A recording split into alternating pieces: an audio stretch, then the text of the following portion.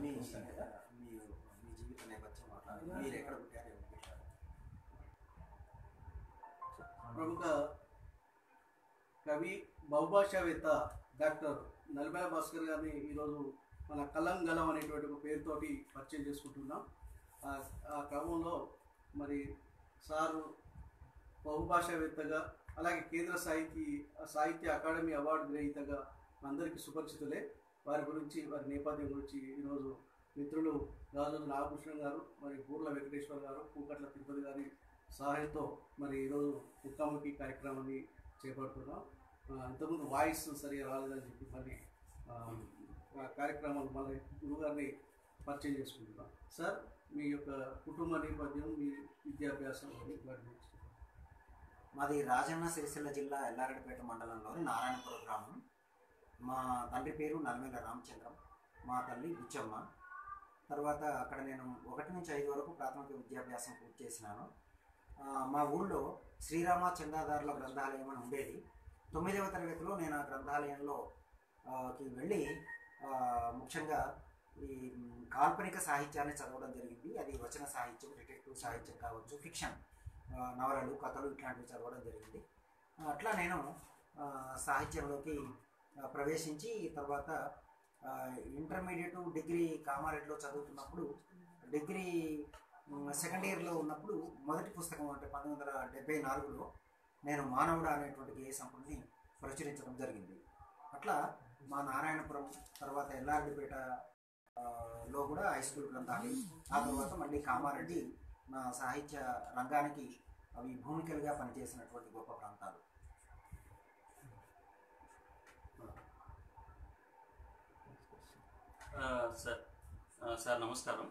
అయితే సాహిత్య రంగంలోకి మీరు ప్రవేశించినటువంటి సందర్భం అంటే అక్కడ మీకు స్ఫూర్తినిచ్చినటువంటి సంఘటనలు అక్కడ స్ఫూర్తినిచ్చినటువంటి వ్యక్తులు. ఎందుకంటే ఈ మానేరు తీరమంతా కూడా ఒక సాహిత్య ఈనాటికి కూడా సాహిత్య పాయ ఇప్పటికీ పారుతూనే ఉంది. దానికి కారణాలు లేదంటే మీకు స్ఫూర్తి ఇచ్చిన అంశాలు మీకు స్ఫూర్తి ఇచ్చిన వ్యక్తులు అట్లాంటి దాని గురించి ఏదైనా ఒక రెండు మాటలు. అంటే ఒకటి చెప్పుకోవాలి ఇప్పుడు ముఖ్యంగా మొట్టమొదట నాకు ఒక మౌలికమైనటువంటి పునాదిని ఏర్పరిచింది ఎల్లారెడ్డిపేట హై స్కూల్లో నేను చదువుతున్నప్పుడు ఆ పాఠశాలలో ఉన్నటువంటి గ్రంథాలయం. తర్వాతనేమో నేను ఆరవ తరగతిలో చేరగానే లక్ష్మణరాజం సార్ అనే ఇంగ్లీష్ సారు ఆంధ్రప్రదేశ్ పత్రికకు చందా కట్టించడం చదివించడం తర్వాత ఎల్లారెడ్డిపేట గ్రంథాలయంలో కృష్ణమాచార్యుల గారి దగ్గర నుండి జీవిత చరిత్రలకు బాల సాహిత్యానికి సంబంధించిన పుస్తకాలు చదవడం. ఇక నారాయణపురంలో గ్రంథాలయంలో అరవై ఎనిమిది అరవై తొమ్మిదిలో అప్పుడు నేను తొమ్మిదవ తరగతిలో ఉన్నాను. మా ఊరి గ్రంథాలయంలో ఉన్న పుస్తకాలు దాదాపుగా ఇందాక చెప్పినట్లుగా నవలలు కథలు డిటెక్టివ్ నవలలు ఇవన్నీ చదవడం.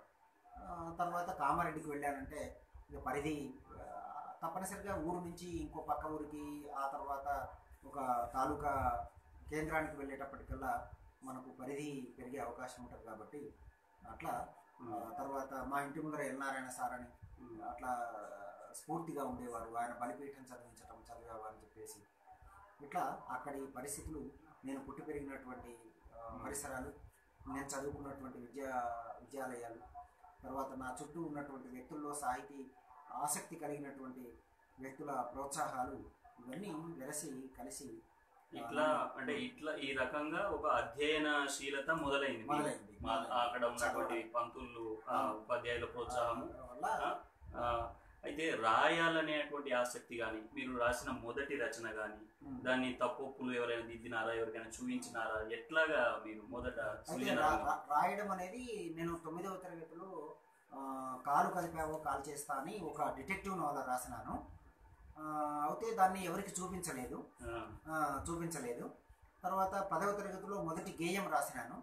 అది నందగిరి అనంత రాజశర్మ గారు మా గురువు గారు చాలా గొప్ప గురువు గారు. ఆయనకు చూపించాను. బాగుందిరా నాయన.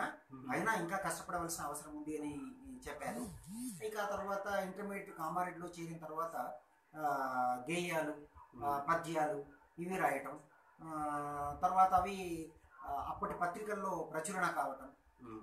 ప్రచురణ అయిన వాటిల్లోంచి కొన్ని మనం ఎంపిక చేసుకుని బీఎస్సీ సెకండ్ ఇయర్లో ఉండగానే మానవుడు అనే గేయ సంపుటి రాయటం. తర్వాత బీఎస్సీలో ఉండగానే నేను ఒక నాలుగు సాంఘిక నవలలు రాయటం. అవి వాటిని ఇప్పటి వరకు నేను అచ్చు వేయలేదు ఇంకా. కానీ మొట్టమొదట మాత్రం ప్రచురణలోకి తీసుకొచ్చింది మాత్రం కవిత్వాలు మాత్రమే ప్రచురణలోకి వచ్చినవి. అంటే మీరు రెండు రకాల సృజనలు అంటే ఒకవైపు వచనానికి సంబంధించి నవలలతో ఒకవైపు మరొక వైపు గేయ కవిత్వానికి సంబంధించి గేయాలు అంటే రెండు పాయల్లో మొదలైన. అవును గేయాలు పద్యాలు వచన కవిత చాలా లేటుగా అంటే డెబ్బై ఏడు డెబ్బై ఎనిమిదిలో వచన కవిత దగ్గరకు వచ్చాను. అక్కడ ఒక చిన్న విషయం చెప్పాలి. ఎందుకంటే నాకు కామారెడ్డి కళాశాలలోనేమో సాహిత్యానికి ముఖ్యంగా మాకు కసిరెడ్డి వెంకటరెడ్డి గారు నాకు కవిత్వంలో అక్షరాలు పెట్టించినటువంటి గురువు గారు అని చెప్పుకోవాలి. గుడ్డు వెంకటాచార్యులు గొప్ప గురువు గారు. అయితే వచన కవిత్వం డెబ్బై ఏడులో రాయటం ప్రారంభించాను. డెబ్బై ఆరు డెబ్బై ఏడులో నేను హైదరాబాద్లో బీఈడీ చేస్తున్నాను. అప్పుడు నందిని సిద్ధారెడ్డి పరిచయం నాకు. సిద్ధారెడ్డి గారు నన్ను కేశవారెడ్డి గారి దగ్గర తీసుకెళ్ళటం. తను ఉగాదికో లేకపోతే అప్పుడు ఇప్పుడు కవిత్వం రాస్తే కుదరదు నాన్న. కవిత్వాన్ని నువ్వు శ్వాసగా తీసుకోవాల్సిన అవసరం ఉంది. అది నీ ధ్యాస కావాలి అని చెప్పటం ఆ, వచన కవిత్వం మీద ప్రత్యేక శ్రద్ధ కలగటం వామపక్ష భావజాలం మీద హేతువాద సాహిత్యం మీద శ్రద్ధ కలగటం అనేది డెబ్బై ఆరు డెబ్బై ఏడులో అయ్యిందంటే అప్పటి నుంచి మళ్ళీ ఇవి కూడా వచన కవితలు కూడా రాయటం. అవన్నీ అయితే మీరు అన్నట్టు ఇప్పుడు కసిరెడ్డి గారు నందిని సిద్ధారెడ్డి గారు కె శివారెడ్డి గారు. మీరందరూ అప్పుడు మీకు సమకాలీన సమయంలో మీకు ఉత్తేజాన్ని ఇచ్చినటువంటి వ్యక్తులు అవును. అంటే ఇప్పుడు సిద్ధారెడ్డి గారు మేమేమో సిద్దిపేటలో సిద్ధారెడ్డి బిఎస్సి ఎంపీసీ చేస్తున్నారు. నేను బిఎస్సి బీజెడ్సి కామారెడ్డిలో చేస్తున్నాను. మేము కలిసి అప్పటికే అంటే కవిత్వాలు రాస్తున్నాం పత్రికల్లో వస్తున్నాయి. ముఖాముఖి పరిచయం మాత్రం డెబ్బై ఆరులో పరిచయము. నారాయణ రెడ్డి గారి అధ్యక్షతన ఉస్మానియా యూనివర్సిటీలో తెలుగు విభాగంలో ఓ కవి సమ్మేళనం జరుగుతుంటే నేను అందులో పాల్గొన్నాను.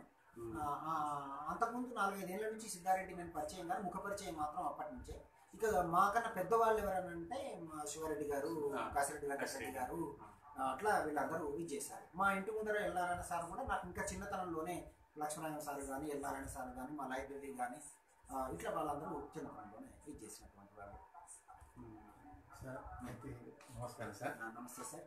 మీరు ఈ సాహిత్య రంగంలోకి రావడము ఆ నేపథ్యము తర్వాత మిమ్మల్ని మిమ్మల్ని ప్రభావితం చేసినటువంటి వ్యక్తుల యొక్క సాంగత్యము ఇట్లా వస్తున్న క్రమం లోపల మిమ్మల్ని ఒక మలుపు తిప్పినటువంటి దశ అంటూ అంటే సాహిత్యంలో ప్రతి సాహిత్యాన్ని సీరియస్గా తీసుకున్న వ్యక్తులకి కొన్ని రాజకీయ విశ్వాసాలు సామాజికంగా ఉండేటువంటి దృక్పథాలకు సంబంధించినటువంటి ఒక లోచూపు అనేది కవికి ఏర్పడుతుంది సాహిత్యవేత్తకు అవును. అట్లా మీరు ఒక ఆ రాజకీయ విశ్వాసాలు కానీ సామాజిక దృక్పథాల వైపు కానీ మీరు ఏర్పరచుకొని మిమ్మల్ని మలుపు తిప్పిన సందర్భాలు కానీ లేక సంఘటనలు కానీ అవి ఏమైనా ఉంటే కొంచెం చెప్పండి సార్. అంటే తప్పనిసరిగా ఇప్పుడు నన్ను నా చిన్న జీవితంలో ఆ, మలుపులు అవన్నీ ఉన్నాయి. సార్. ఇప్పుడు ఉదాహరణకి మా ఊళ్ళో ఉన్న శ్రీరామ శ్రీరామచంద్రదారుల గ్రంథాలయం నన్ను బాగా ప్రభావితం చేసినటువంటి పుస్తక భాండాగారం ఆ తర్వాత అప్పటికి సాహిత్యంలో ఈ అంటే ఈ రకరకాల వాదాలు ఉంటాయని ఇట్లాంటివన్నీ ఏమి తెలియనటువంటి ఒక ఒక పసి వయస్సు అట్లా డెబ్బై ఆరు డెబ్బై ఏడు వరకు అంటే కామారెడ్డి కళాశాలకు వెళ్ళిన తర్వాత మా గురువు గారు కసిరెడ్డి గారికి నిజంగా పాదాభివందనాలు. ఎందుకంటే నాకు కవిత్వంలో ఉన్నటువంటి మెలకువలు చాలా నేర్పినటువంటి వ్యక్తి. అయితే ఈ అంటే మా గ్రంథాలయము కసిరెడ్డి గారు ఆ తర్వాత డెబ్బై ఆరు డెబ్బై ఏడులో నేను సిద్ధారెడ్డి ముఖాముఖి పరిచయం అయిన తర్వాత శివారెడ్డి గారి ఇంట్లో ఓ రాత్రంతా కూడా మేము ఆ, కె శివారెడ్డి గారి ఇంట్లో మాట్లాడుకున్న తర్వాత నాకు నానానికి ఇంకొక వైపు చూడాలని చెప్పినటువంటి వాళ్ళు వాళ్ళు. అది నా- నాణానికి ఒక వైపు మాత్రమే కాదు రెండవ వైపు కూడా ఉంటుంది.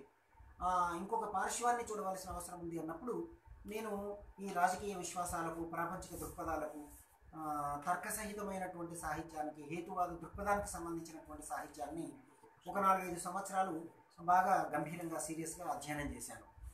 అయితే ఇవాళ మళ్ళీ నన్ను మలుపు తిప్పినటువంటి విషయం ఏమిటంటే ఈ తెలంగాణ ఉద్యమం కావచ్చు లేకపోతే మరొకటి కానీ ఇవాళ నేను అంటే ఒక రాజకీయ విశ్వాసమో లేకపోతే ఒక ప్రాపంచిక దృక్పథమో అని కాకుండా అది నా నా వ్యక్తిగతమైనటువంటి బలమో బలహీనతో నేను చెప్పలేను కానీ ఇవాళ నేను మానవతావాదిని. ఎందుకంటే నేను చదువు నీ పద్నాలుగు భాషలకు సంబంధించిన సాహిత్యాలు భాషలు తర్వాత ఆ ఆ కిటికీల ద్వారా నేను చదువుకున్నటువంటి గ్రంథాలు చదివినప్పుడు ఏమిటంటే అల్టిమేట్గా ఈ ప్రపంచాన్ని కాపాడేది రక్షించేది ఒక మానవతావాదం తప్ప మరొకటి లేదు. ఇప్పుడున్నటువంటి ఈ నిచ్చెనమెట్ల సమాజంలో మరిన్ని స్పర్ధలు పెంచేలాగా ఏ రకమైనటువంటి ఏ విశ్వాసం కూడా ఇది చేసినా కానీ ఇబ్బంది దాన్ని మనం అనే ఒక ఒక మానవతావాదమే ఈ ప్రపంచానికి మరొక మార్గం అని నమ్ము బలంగా నమ్ముతున్నటువంటి వ్యక్తి నేను. సార్ అయితే మీరు పద్నాలుగు భాషలు నేర్చుకోవడం ఒక ఎత్తు అయితే పద్నాలుగు భాషలు నేర్చుకోవడం ఒక ఎత్తు అయితే తెలంగాణ అస్తిత్వ ఉద్యమం అనేది నీళ్ళు నిధులు నియామకాలతో పాటు తెలంగాణ భాషను నిరాదరణకు గురిచేసి ఒక వివక్ష చూపెట్టి అందరినీ కలిసివేసిన సందర్భం లోపల తెలంగాణ భాష యొక్క ఔన్నత్యాన్ని గొప్పతనాన్ని దాని మూలాల మొత్తాన్ని సాహితీవేత్తలతో పాటు సాధారణ జనాల్లో కూడా తీసుకుపోయిన వ్యక్తి మీరు. మీ ప్రసంగాలు అనేకం కూడా అనేక వేదికల మీద రాజకీయ ఇప్పుడు రాష్ట్ర సాధనోద్యమం జరిగినప్పుడు భాష పట్ల కూడాను మరి వలసవాదులు ఎట్లాంటి వివక్ష చూపెట్టడంలో ఉండేటువంటి వాళ్ళ ఆంతర్యం ఏంటిది? మన మీద ఆధిపత్యం చెలాయించడానికి భాషను సంస్కృతిని దెబ్బతీసే క్రమంలో ఒక వ్యూహాత్మకంగా వాళ్ళు చేసిన దాన్ని మీరు బద్దలు కొట్టిన సందర్భం ఒకటి ఉంది. సో దాన్ని మీరు అప్పుడు ఏర్పడిన ఏర్పడినటువంటి ఆ- పరిణామాల నేపథ్యంలోనే మీరు ఈ తెలంగాణ భాషను తీసుకొని వచ్చారా? లేక పరిణామ క్రమంలో మీరు దాన్ని దాని కోసం వచ్చారా ఒకసారి అయితే మనకు ఇప్పుడు నిజానికి ఏంటంటే తెలంగాణ రచయితల వేదిక ఆవిర్భావం సాహిత్య రంగంలో ముఖ్యంగా తెలంగాణ సాహిత్య రంగంలో ఒక పెద్ద గొప్ప పరిణామం అది. అయితే ఇప్పుడు నేను డెబ్బై ఏడులో మంద అని ఒక కథ రాసినాను. డెబ్బై ఏడులో మంద అని అప్పుడు ఆంధ్రభూమి ఇతర పత్రికలు ఏమీ లేవు ఇంకప్పటికీ. ఆంధ్రభూమి ఆదివారం సారస్వత అనుబంధంలో మంద అని ఒక కథ రాశాను. అది తెలంగాణ భాషలో ఉన్నది. అప్పుడు అది మా నారాయణపురం మాత్రమే కాకుండా సిరిసిల్ల పాత తాలూకాలో ఉన్న గ్రామాలన్నింటిలో కూడా ఒక సంచలనము నన్ను కొంచెం ఒత్తిడికి గురి చేసినటువంటి కథ అది. నేను ఇబ్బందులకు గురైన గురైనటువంటి కూడా ఆ కథ అది. అంటే నాకు అంటే నా చేతనలో ఉందో లేక అంతఃచేతనలో ఉందో అచేతనంలో ఉందో కానీ నాకు తెలియకుండా నేను డెబ్బై ఏడులోనే అప్పటికి ఉద్యమాలు వాదాలన్నీ ఏమీ లేవు. మంద అని తెలంగాణ భాషలో కథ రాసినాను.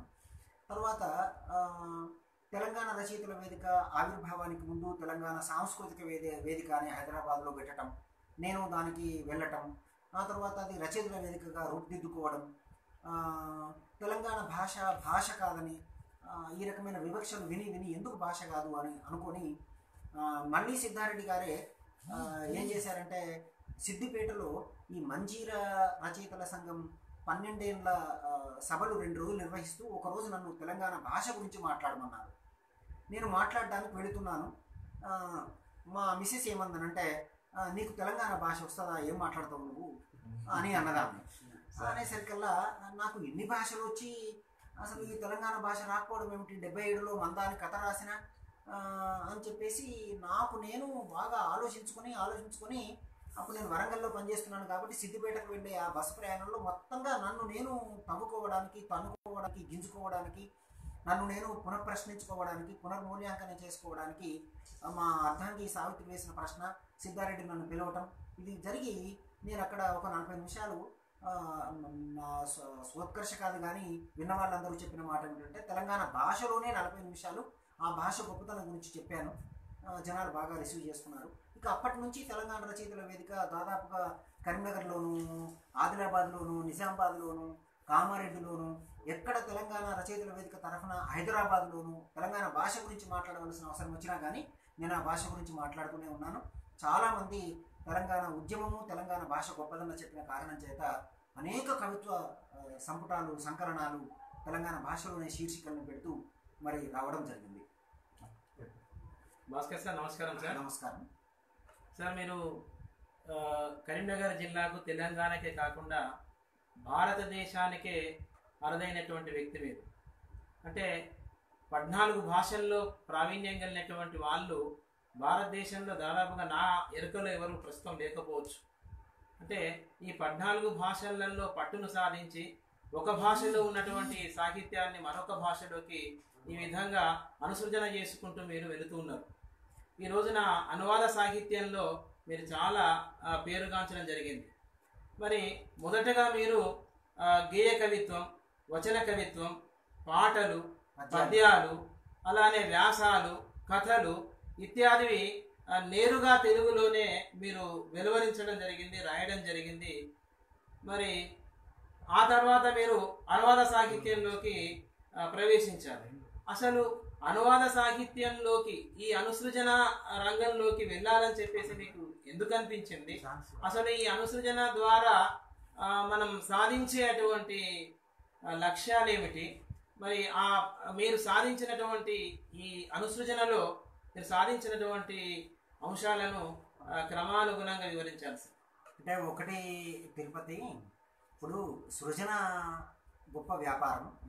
అంతేకాకుండా అనుసృజన కూడా చాలా ముఖ్యమైనటువంటి వ్యాసంగం. ఈ అనుసృజన లేకపోయినట్లయితే మనకు వ్యాస వాల్మీకులు కానీ గోర్కి టాల్స్టాయిలు కానీ ఇతర దేశాల భాషల రచయితలు కవులు ఎవరు కూడా మనకు పరిచయం అయ్యేవాళ్ళు కాదు. కనుక అనుసృజన చాలా గొప్ప వ్యాపారం. ఈ అనుసృజన అంటే అనువాదం అనుసృజన అని తర్జుమా భాషాంతరీకరణం ఇట్లా మనం పేర్లతో పిలుస్తున్నాం. తెలుగు సీత ఇట్లా పిలుస్తున్నాం. అయితే ఈ అనువాదాల వైపు ఎందుకు మళ్ళవలసి వచ్చింది అని అంటే నేను భాషలు నేర్చుకున్న తర్వాత కవిత్వాలు అందరూ రాస్తారు కథలు అందరూ రాయవచ్చు నవలలు అందరూ రాయవచ్చు. అంటే సృజనాత్మక వ్యాపారం తక్కువ అని చెప్పడం లేదు అదే మొదలు. కానీ అనుసృజన చేయకపోయినట్లయితే తెలుగు సాహిత్య వాతావరణ పరిమితులు పెరగవు పరిధులు పెరగవు. అందుకని మనం ఒక ఇతర సాహిత్యాలకు సంబంధించిన తీరుతెన్నులు అవగాహన చేసుకున్నప్పుడే మనకు హృదయ హృదయానికి ఒక సంస్కారం కలుగుతుంది వైశాల్యం విశాలత్వం వస్తుంది. తర్వాత మన భాషా సాహిత్యాలు సుసంపన్నమవుతాయి పరిపుష్టమవుతాయి. అందుకని నేనేం చేశానంటే సృజన ఎవరైనా చేయగలుగుతున్నారు కానీ ఇది ఎవరు చేయడం లేదు. పైపెచ్చి ఏమిటంటే నాకు ఎలాగో ఒక ఈ- ఈ అంచులేవో ఉన్నాయి. ఈ పార్శ్వాలేవో ఈ పద్నాలుగు భాషలకు సంబంధించిన పార్శ్వాలు ఉన్నాయి కాబట్టి మరి అనువాదం చేస్తే బాగుంటుందని చెప్పేసి ఈ వయా ట్రాన్స్లేషన్స్ కాకుండా డైరెక్ట్ ట్రాన్స్లేషన్స్ చేస్తే బాగుంటుందని చెప్పి అనువాద ప్రాధాన్యాన్ని గుర్తిరిగి నేను చేయడం జరిగింది. అయితే తోట మహదేవు వెల్లువ అనేటువంటి ఒక పత్రిక తీసేవాడు సిరిసిల్ల నుంచి. ఏదైనా ఒక అనువాదం చెయ్యండి అంటే అప్పుడు ఒక చిన్న అనువాదం తమిళం నుంచి చేశాను. ఆ తర్వాత సిద్ధారెడ్డి గారు మంజీరా అని ఒక పత్రిక తీస్తున్నారు. దానికి ఏదైనా సంక్షిప్తంగా ఒక అనువాదం చేయండి అని అంటే నేను తోటీయుడే మగన్ అని అంటే దాని అర్థం ఏమిటంటే పాకి మనిషి కొడుకు. అది తగడి శివశంకర పిల్లయ్య రాసినటువంటి నవల వంద పేజీల నవల. నేను ఇరవై ఐదు పేజీల సంక్షిప్త నవలగా మంజీలకు పంపించాను సిద్ధారెడ్డి దాని సంపాదకుడు. అట్లా చేశాను. తర్వాత అనువాదాలను ఇంకా సీరియస్గా ఎప్పుడు చేశానంటే అంటే after completion of the MPhil and PhD నేను వెన్ వెను వెంటనే అనువాదాలు ప్రారంభించాను. అంటే తొంభైలో నాకు తొంభై డిసెంబర్లో ఏం చేశాను కదా అంటే వారానికి ఒకటి చొప్పున మలయాళం నుంచి నాలుగు కథలు అనువాదం చేసి ఆంధ్రజ్యోతి వారపత్రికకు పంపించాను. అవి ఫిబ్రవరి నుంచి వరుసగా రావడం ప్రారంభమైంది. అట్లా నేను ఇంకా అనువాదాల్లోకి వెళ్ళటం పత్రికల్లో కథలు వ్యాసాలు నవలలు ప్రచురించటం తర్వాత కవితలు ప్రచురించటం ఇట్లా ఇవన్నీ కూడా జరిగినాయి. అయితే ఇట్లా జరుగుతున్న క్రమంలో ఏం జరిగిందనంటే అందరూ నన్ను ప్రశ్నించారు. ఏమిటంటే మీరు ఇతర భాషల్లోంచి తెలుగులోకి అనువాదాలు చేస్తున్నారు కానీ తెలుగు నుంచి ఇతర భాషల్లోకి అనువాదాలు చేయడం లేదు అని అంటే రెండు వేల సంవత్సరంలో ఏం చేశానంటే నేను అప్పటికి రెండు వేల సంవత్సరం వరకు వచ్చినటువంటి తెలుగు సాహిత్యంలోనే ముఖ్యమైనటువంటి వాదాలు దళితవాదము స్త్రీవాదము మానవతావాదము ఇట్లా ఈ ప్రాంతీయవాదము ఇట్లా ఉన్నటువంటి మైనారిటీ వాదము ఇట్లా ఆయా వాదాలకు సంబంధించినటువంటి ప్రాతినిధ్య కవితలని ఎంపిక చేసుకొని తమిళంలోకి అనువాదం చేశాను. అది తమిళ్ తోటత్తిల్ తెలుగు కుయిల్గల్ అని అంటే దాని అర్థం ఏమిటంటే తమిళ తోటలో తెలుగు కోయిలలు. అంటే అక్కడ కూడా ఈ కోయిలలు పాడడానికి ప్రయత్నం చేస్తున్నాయని చెప్పేసి ఒక పది పదిహేను సంవత్సరాల పంతొమ్మిది వందల ఎనభై ఐదు నుంచి రెండు వేల వరకు వచ్చినటువంటి ఆయా వాదాలకు సంబంధించిన ముఖ్యమైన కవితలను కూడా తమిళంలో వేశాను. అది కాకుండా రీసెంట్గా లాస్ట్ ఇయర్ ఆచార్య గోపి గారి నానిలను తమిళంలో వేశాను. అది కాక మళ్ళీ అనువాదాల విషయానికి వస్తే మన మట్టి కూడా మాట్లాడుతుంది అని చెప్పేసి ప్రజా సాహిత్యంలో నేను ఒక రెండు మూడు సంవత్సరాలు ఒక కాలం నిర్వహణ చేస్తున్నప్పుడు వాటికి వాటిని దేశ దేశాల ప్రభుత్వం పేర మట్టి కూడా మాట్లాడుతుంది అనేటువంటి పేరున పంతొమ్మిది రెండు వేల పదిలో జూలూరు గౌరశంకర్ ఆ పుస్తకం వేశాడు. ఇట్లా అనువాదాల్లో ఇటు నుంచి అటు అటు నుంచి ఇటు తర్వాత కేంద్ర సాహిత్య అకాడమీ అవార్డు వచ్చినటువంటి నవల స్మారక శిలలు కూడా రెండు వేల పదిలో వేయడం జరిగింది. మలయాళ కథలు అద్దంలో గంధాలు ఇట్లా చాలా పుస్తకాలు చేశాను సార్ మీరు వివిధ భాషల్లో ఉన్నటువంటి సాహితీవేత్తల్ని తెలుగు భాషలోకి తెలుగు భాష పాఠకులకు పరిచయం చేశారు. సాహితీ సుమాలు అని చెప్పి. అలానే భారతీయ కథలు అట్లనే మంద ఆ తర్వాత అద్దంలో గాంధారి మరి పదకొండు కథలు అని చెప్పేసి ఆరు భాషలకి సంబంధించినటువంటి కథల్ని ఒక్కో భాషలో రెండింటిని రెండింటిని చొప్పున తీసుకొని అద్దంలో గాంధారి మరి పదకొండు కథలు అని చెప్పేసి ఒక పుస్తకం వేశారు. అలానే మలయాళ సాహిత్యంలో ఉత్తమ నూరేళ్ళ పది కథల్ని కూడా మీరు తెనిగించడం జరిగింది. అలానే భారతీయ సామెతలు అని చెప్పేసి పలు భాషల్లో ఉన్నటువంటి సామెతలను తీసుకొని ఆ తులనాత్మకంగా పరిశీలనాత్మకంగా పరిశోధనాత్మకంగా మీరు వివరణ చేస్తూ కూడా ఒక పుస్తకం వేయడం జరిగింది. అలానే భారతీయ సాహిత్య వ్యాసాలు అని చెప్పేసి పలు భాషలకు సంబంధించినటువంటి సాహిత్యాలను ప్రక్రియను పరిచయం చేస్తూ కవుల్ని పరిచయం చేస్తూ భారతీయ సాహిత్య వ్యాసాలు వివరించడం జరిగింది. నవల రంగంలో కూడా స్మారక శిలల్ని కూడా మలయాళ భాషలో మూలంగా వచ్చినటువంటి స్మారక శిలల్ని కూడా తెలుగులోకి తీసుకురావడం జరిగింది. ఇట్లా మీరు వివిధ భాషల్లో ఉన్నటువంటి సాహిత్యాన్ని తెనింగించేటప్పుడు అలానే తెలుగులో ఉన్నటువంటి సాహిత్యాన్ని పరాయి భాషలోకి రాసేటప్పుడు ఈ ఎలాంటి కష్టాలు అంటే ఎలాంటి ఇబ్బందులు మీకు ఎదురైనాయి సార్? ఉదాహరణకి సామెతలను జాతీయాలను ఉన్నది ఉన్నట్టుగా ఒక భాషలో నుంచి మరొక భాషలోకి మార్చడం కొంచెం సాధ్యం కాదు కాబట్టి అది మామూలుగా భాషా జ్ఞానం ఉన్నటువంటి వాళ్ళకి సాధ్యం కాకపోవచ్చు. కానీ మీకు పద్నాలుగు భాషలలో ప్రవేశం ఉంది ప్రావీణ్యం ఉంది పట్టు ఉంది పాండిత్యం ఉంది కాబట్టి మీరు కూడా ఎలాంటి ఇబ్బందుల్ని ఎదుర్కొన్నారు? మునుముందు రాసేటువంటి వాళ్ళు ఇట్లాంటి ఇబ్బందులు ఎదుర్కో ఎదుర్కోకుండా ఉండాలంటే మీరు ఎలాంటి సూచన చేస్తారు సార్? దయచేసి వివరించారు అంటే ఇప్పుడు తిరుపతి నువ్వు అన్నట్లుగా అనువాదంలో ఎదురయ్యే ముఖ్యమైనటువంటి సమస్య ఏమిటి అంటే సామెతలు జాతీయాల సమస్య ఎదురవుతుంది. సామెతల కన్నా కూడా జాతీయాల్లో ఇంకా పెద్ద సమస్య ఎదురవుతుంది. ఆ, జాతీయం అంటే ఆ భాషకు ఆ జాతికి మాత్రమే సంబంధించినటువంటి ఒక ఇంకొక అర్థాన్ని స్ఫురింపజేస్తుంది అది మామూలుగా పైకి కనిపించే అర్థాలు కాకుండా ఎదురవుతాయి. అయితే నాకున్న ఒక సానుకూలమైన అంశం ఏమిటి అని అంటే నేను తెలుగు తమిళం కన్నడం మలయాళ సామెతల మీద పిహెచ్డి చేసిన కారణం చేత ఎంఫిల్ పిహెచ్డి చేసిన కారణం అంటే ద్రావిడ భాషల్లో ఉన్న సామెతల మీద పిహెచ్డి కారణం చేసిన పిహెచ్డి చేసిన ఎంఫిల్ పిహెచ్డి చేసిన కారణం చేత నాకు అది పెద్ద సమస్య కాలేదు. ఎందుకంటే నాలుగు భాషలకు సంబంధించిన నలభై వేల సామెతలు నా దగ్గర ఉండి నేను పరిశోధన చేశాను. అది నాకు సమస్య కాలేదు. అయితే జాతీయాలకు సంబంధించి కొంత స- ఎదురవుతుంది. అయితే సామెతకు తోబుట్టు జాతీయం కాబట్టి సామెతలు అనగానే జాతీయాలు అంటాం కనుక జాతీయాలకు సంబంధించినటువంటి సాహిత్యం కూడా చెప్పుకోదగినంత నా దగ్గర ఉన్నది.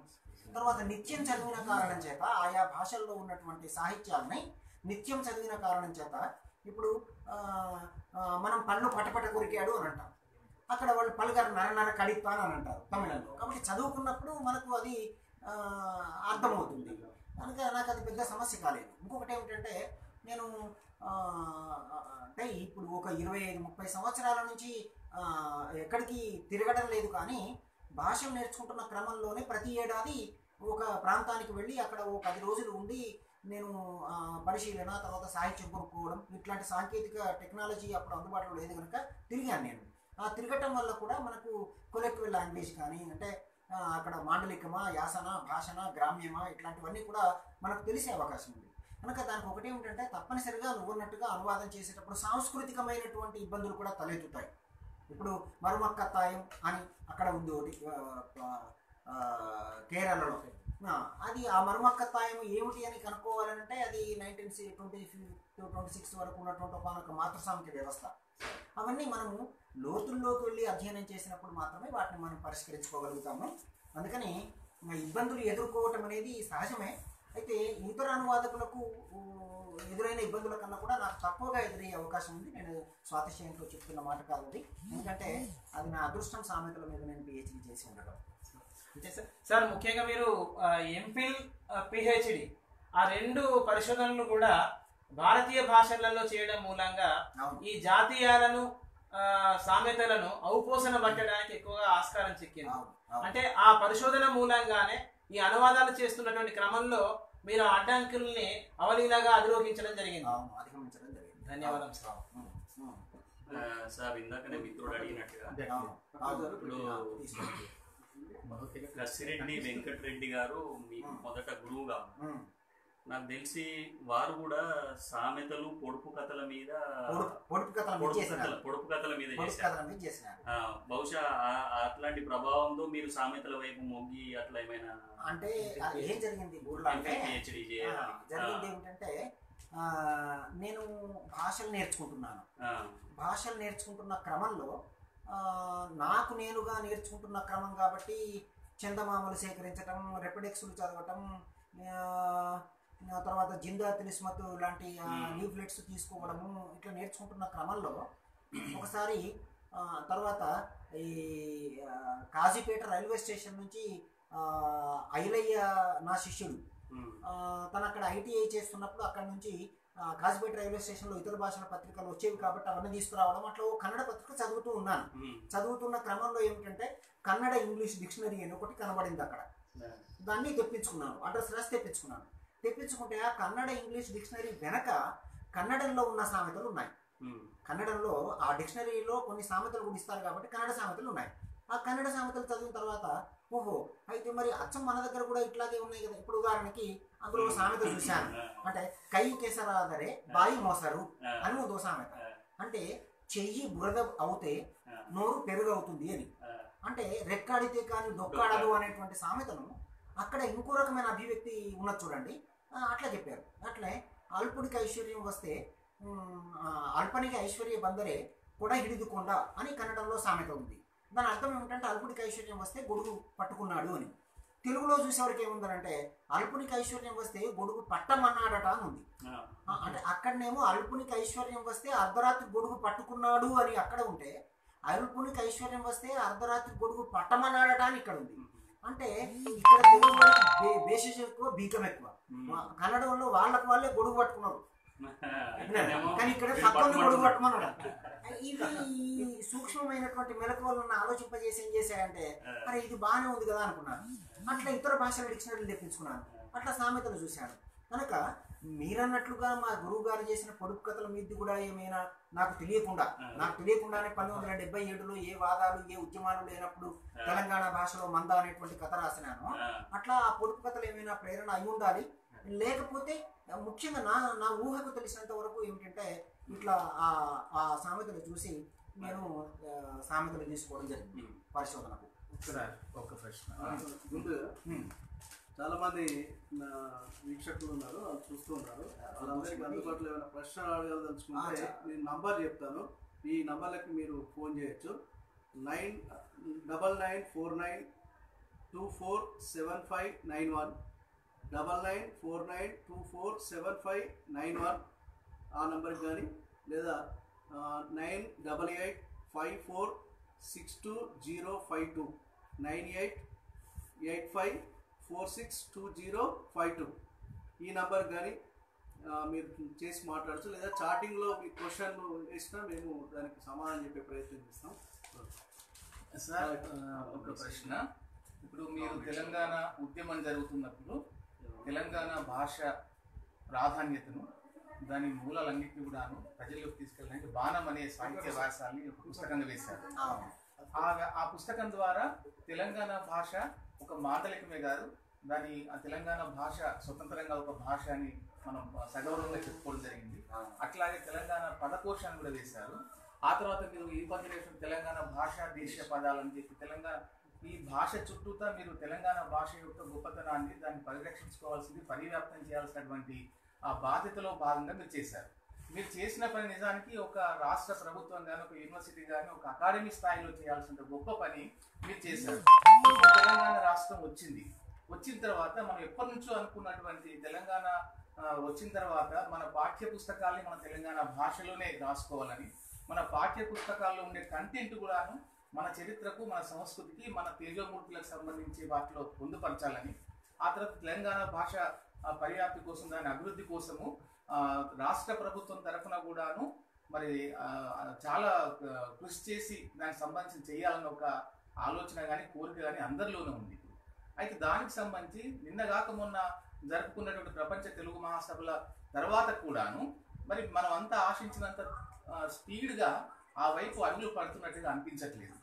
దీన్ని ఏం చేస్తే తెలంగాణ భాష ప్రజల్లోకి ఇంకా విస్తృతంగా వెళ్తుంది దాని పరివ్యాప్తి జరుగుతుంది తర్వాత తరాల వాళ్ళు దాన్ని భాష వినియోగానికి సంబంధించి కానీ కాపాడుకోవడం కానీ ఏం చేయాలని మీరు అనుకుంటున్నారు? ప్రభుత్వ పరంగా సాహిత్యవేత్తల పరంగా మిగతా అకాడమిక్స్ వాళ్ళు కూడా అకాడమిషియన్స్ కూడాను ఏం చేస్తే తెలంగాణ భాష ఇంకా అభివృద్ధిలోకి వస్తుంది అనుకుంటున్నారు? ఒకటి భూషణ్ గారు ఇప్పుడు మన కేవలం ఒక జాతీయ స్థాయి సినారియో చూసినప్పుడే అంటే మన దేశాన్ని దృష్టిలో పెట్టుకొని మనం ఆలోచిస్తున్నప్పుడే తెలుగు వాళ్ళకి భాషాభిమానం తక్కువ. అంటే కొన్ని విషయాలు మనం నిష్కర్షగా చెప్పుకోవాలి. అయితే భాషాభిమానం అందులో మళ్ళీ తెలుగు భాషాభిమానం తక్కువ ఇంకా తెలంగాణ భాషాభిమానం గురించి మనం ఇది చేసుకోవాల్సిన ఇదే లేదు. దీనికి భా అభిమానం అంటే ప్రపంచీ ప్రపంచీకరణ నేపథ్యంలో భాషలన్నీ కూడా పునారెల్లుతున్నటువంటి ఒక విషాద పరిణామాన్ని మనం విషాద సన్నివేశంలో ఉన్నాం. దీనికి చేయవలసిన అవసరం ఏమిటి అంటే అంటే నా నేను నాకున్న పరిమిత జ్ఞానంతో చెప్పేది ఏమిటి అంటే ఒకటి నుంచి ఐదు వరకు తప్పనిసరిగా ఒకటి నుంచి ఐదు వరకు తప్పనిసరిగా పది పదవ తరగతి వరకు అని కాదు ఒకటి నుంచి ఐదు వరకు ప్రాథమిక విద్యాభ్యాసం అంతా కూడా తెలుగు మీడియంలోనే ఉండాలి. అది మొట్టమొదట ప్రభుత్వాలు చేయాల్సిన పని. సార్. ప్రభుత్వాలకు సంకల్పం ఉన్నప్పుడే భాష బతుకుతుంది. ఎందుకంటే ఇతర ప్రభుత్వాలు అది మహారాష్ట్ర కావచ్చు లేకపోతే కర్ణాటక కావచ్చు తమిళనాడు కావచ్చు వాళ్ళు అట్లా బతికించుకున్నారు. ఒకటి అంటే మీడియం ఆఫ్ ఇన్స్ట్రక్షన్ మారాలి. కనీసం ఐదవ తరగతి వరకు తెలుగు భాషలో అది బోధన జరగాలి. ఇక తర్వాత పాఠ్య పుస్తకాల విషయానికి వచ్చినప్పుడు ఆ తెలుగు భాషలో అంటే ఆ ఐదవ తరగతి వరకు మాధ్యమమే కాకుండా తెలుగు వాచకాలు. ఈ వాచకాల్లో తప్పనిసరిగా ఏమిటంటే తెలంగాణ భాషనే ఉండాలి. ఇప్పుడు నేను తెలంగాణ రాష్ట్రం ఏర్పడిన తర్వాత ఒకటి నుంచి పది వరకు వాచకాలు మారినాయి తెలుగు వాచకాలు మారినాయి. ఆ పాఠ్య నిపు పుస్తక నిపుణుల్లో నేను కూడా ఒకడిని. సార్. మొట్టమొదటి చర్చను నే నేనే లేవదీశాను. ఏమిటంటే మరి ఇప్పుడు ఏ భాషను మనం ప్రవేశపెడదామని లేవదీశాను. మెజారిటీ అంతా కూడా తెలంగాణ భాషనే ఉండాలి అని కూడా అన్నారు. కానీ కారణం ఏమైందో కానీ చివరికి పుస్తకాలు బయటకు వచ్చేటప్పటికల్లా మాత్రం మళ్ళీ కోస్తా ప్రామాణిక భాషలోనే అవన్నీ దానిలో చాలా విమర్శలు వచ్చినాయి సార్. వచ్చినాయి. అయితే అందుకని మనం అంటే దానికి కారణం వాళ్ళు చెప్పే కారణం ఏమిటంటే పిల్లవాడు ఇప్పటి వరకు ఈ భాషకు అలవాటు పడ్డాడు కాబట్టి ఒకేసారి మనం ఎట్లా ఇది చేస్తే బాగుంటుందని. అంటే ఎప్పుడో ఒకసారి ఆ ఇబ్బంది తప్పదని నా అభిప్రాయం. సార్. ఎప్పుడో ఒకసారి తప్పనిసరిగా ప్రవేశపెట్టవలసిందే తెలంగాణ భాషను. ప్రవేశ ఏదో ఒక స్థాయిలో ప్రవేశపెట్టవలసిందే. వందకు వంద శాతమా లేకపోతే ఎంత శాతము అనేది కాకుండా మనం ప్రవేశపెట్టాలి. అందుకని ప్రభుత్వాలకు ఆ సంకల్పం ఉన్నప్పుడు మాత్రమే అసలు భాషలు బతుకుతాయి సాహిత్యాలు బతుకుతాయి. అందుకని మరి ప్రభుత్వాల ప్రాథమ్యాంశ ప్రాథమ్యాలలో నీళ్ళు నిధులు నియామకాలు ఉన్నట్లుగానే భాషకు సంబంధించినటువంటి మళ్ళీ పునరుజ్జీవనం కూడా ఉన్నప్పుడే ఇవన్నీ ఇదవుతాయి. ఇక మీరు అన్నారు ఉద్యమ సందర్భంలో ఇట్లా నిఘంటువులు తీసుకొచ్చారు బాణం తీసుకొచ్చారు భాష దేశ పదాలు తీసుకొచ్చారంటే అయితే ఇప్పుడు నేను అనువాదాలు మానుకున్నా కానీ వయా ట్రాన్స్లేషన్స్ ఇంకెవరైనా చేయగలుగుతారు. ఉమ్. నేను అనువాదాలు మానుకున్నా కానీ నేను నేను రచన మానుకుంటే నేను నా సృజనను ఎందుకు మానుకున్నాను అని అంటే అనుసృజన డైరెక్ట్ చేసే వాళ్ళు ఎవరు సార్. ఇప్పుడు అనుసృజనలో కూడా డైరెక్ట్ చేసే వాళ్ళు వస్తున్నారు మెషినరీ ట్రాన్స్లేషన్ ఉంది తర్వాత వయా ట్రాన్స్లేషన్ ఉంది. ఏదో రకంగా అక్కడ ఆ ఖాళీ పూరించబడుతున్నది. కానీ తెలంగాణ భాషకు సంబంధించిన ఖాళీ మాత్రం పూరించడానికి ఎవరు లేరు. అది రవాశ్రీయర్ గారు ఉన్నారు. కానీ నాకన్నా పది పన్నెండు సంవత్సరాలు పెద్ద మనిషి అయిన కారణం చేత వాళ్ళు ఎక్కువ చేయలేరు అందుకని నేను ఆ ఖాళీని పూరించడం కోసం ఇటువైపు రావడం జరిగింది. ఆ దాంట్లో భాగంగానే బాణం కానీ తెలంగాణ నిఘంటువు కానీ దేశ పదాలు కానీ ఇంకా దేశ పదాలే కాకుండా తెలంగాణ భాషలో ఉన్న సంస్కృత పదాలు కూడా పదిహేను వ్యాసాలు రాశాను. తర్వాత ఉర్దూ పదాలు రాయటం ఉన్న ప్రణాళిక భవిష్యత్ ప్రణాళిక. తర్వాత అదే కాకుండా తమిళ కన్నడ మలయాళ పదాలు కూడా తెలంగాణ భాషలో ఎట్లా ఉన్నాయి? తెలంగాణ భాష అంటే నా దృష్టిలో ఏమిటంటే పల్లె ప్రజలు మాట్లాడుతున్నటువంటి భాషనే. భాష అనేది ప్రజల దగ్గర ఉంటుంది పండితుల దగ్గర ఉండదు. పండితుల దగ్గర ఉన్న భాష కూడా భాషనే. కానీ అది ఇంకొక రకమైన ప్రయోజనాల కోసం ఉద్దేశించిన ఉద్దేశించబడిన భాష. కాబట్టి పల్లె ప్రజల భాషలో ఉన్నటువంటి ఇంగ్లీష్ పదాలు ఉర్దూ పదాలు తమిళ పదాలు కన్నడ పదాలు అచ్చతెలుగు పదాలు సంస్కృత పదాలు ఎట్లా ఉన్నాయో అని చెప్పడంలో భాగంగా దేశ పదాలు వచ్చింది సంస్కృత పదాలు రానున్నది. మిగిలినవి కూడా నా కార్యాచరణలో భాగంగా భవిష్యత్తులో రానున్నాయి తెలంగాణ భాష యొక్క సమగ్ర స్వరూపాన్ని మీరు తీసుకురావడానికి. సాధ్యమైనంత వరకు ప్రయత్నం చేస్తూ. నా తరంతో అది ఆగిపోకూడదని మళ్ళీ మన బూర్లను కూకట్లను కూడా ఆ, అట్లా రావడానికి కొంత మార్గం ఏర్పరచడంలో కూడా నేను కొంత ప్రోత్సాహం ఇవ్వడంలో కూడా ఉన్నాను సార్ సార్ మీరు ప్రాథమిక ప్రాథమిక విద్యకు సంబంధించింది మీరు వన్ టు ఫిఫ్త్ క్లాస్ వరకు తెలుగులోనే మాధ్యమంలో చెప్పాలని చెప్పి మీరు అన్నారు.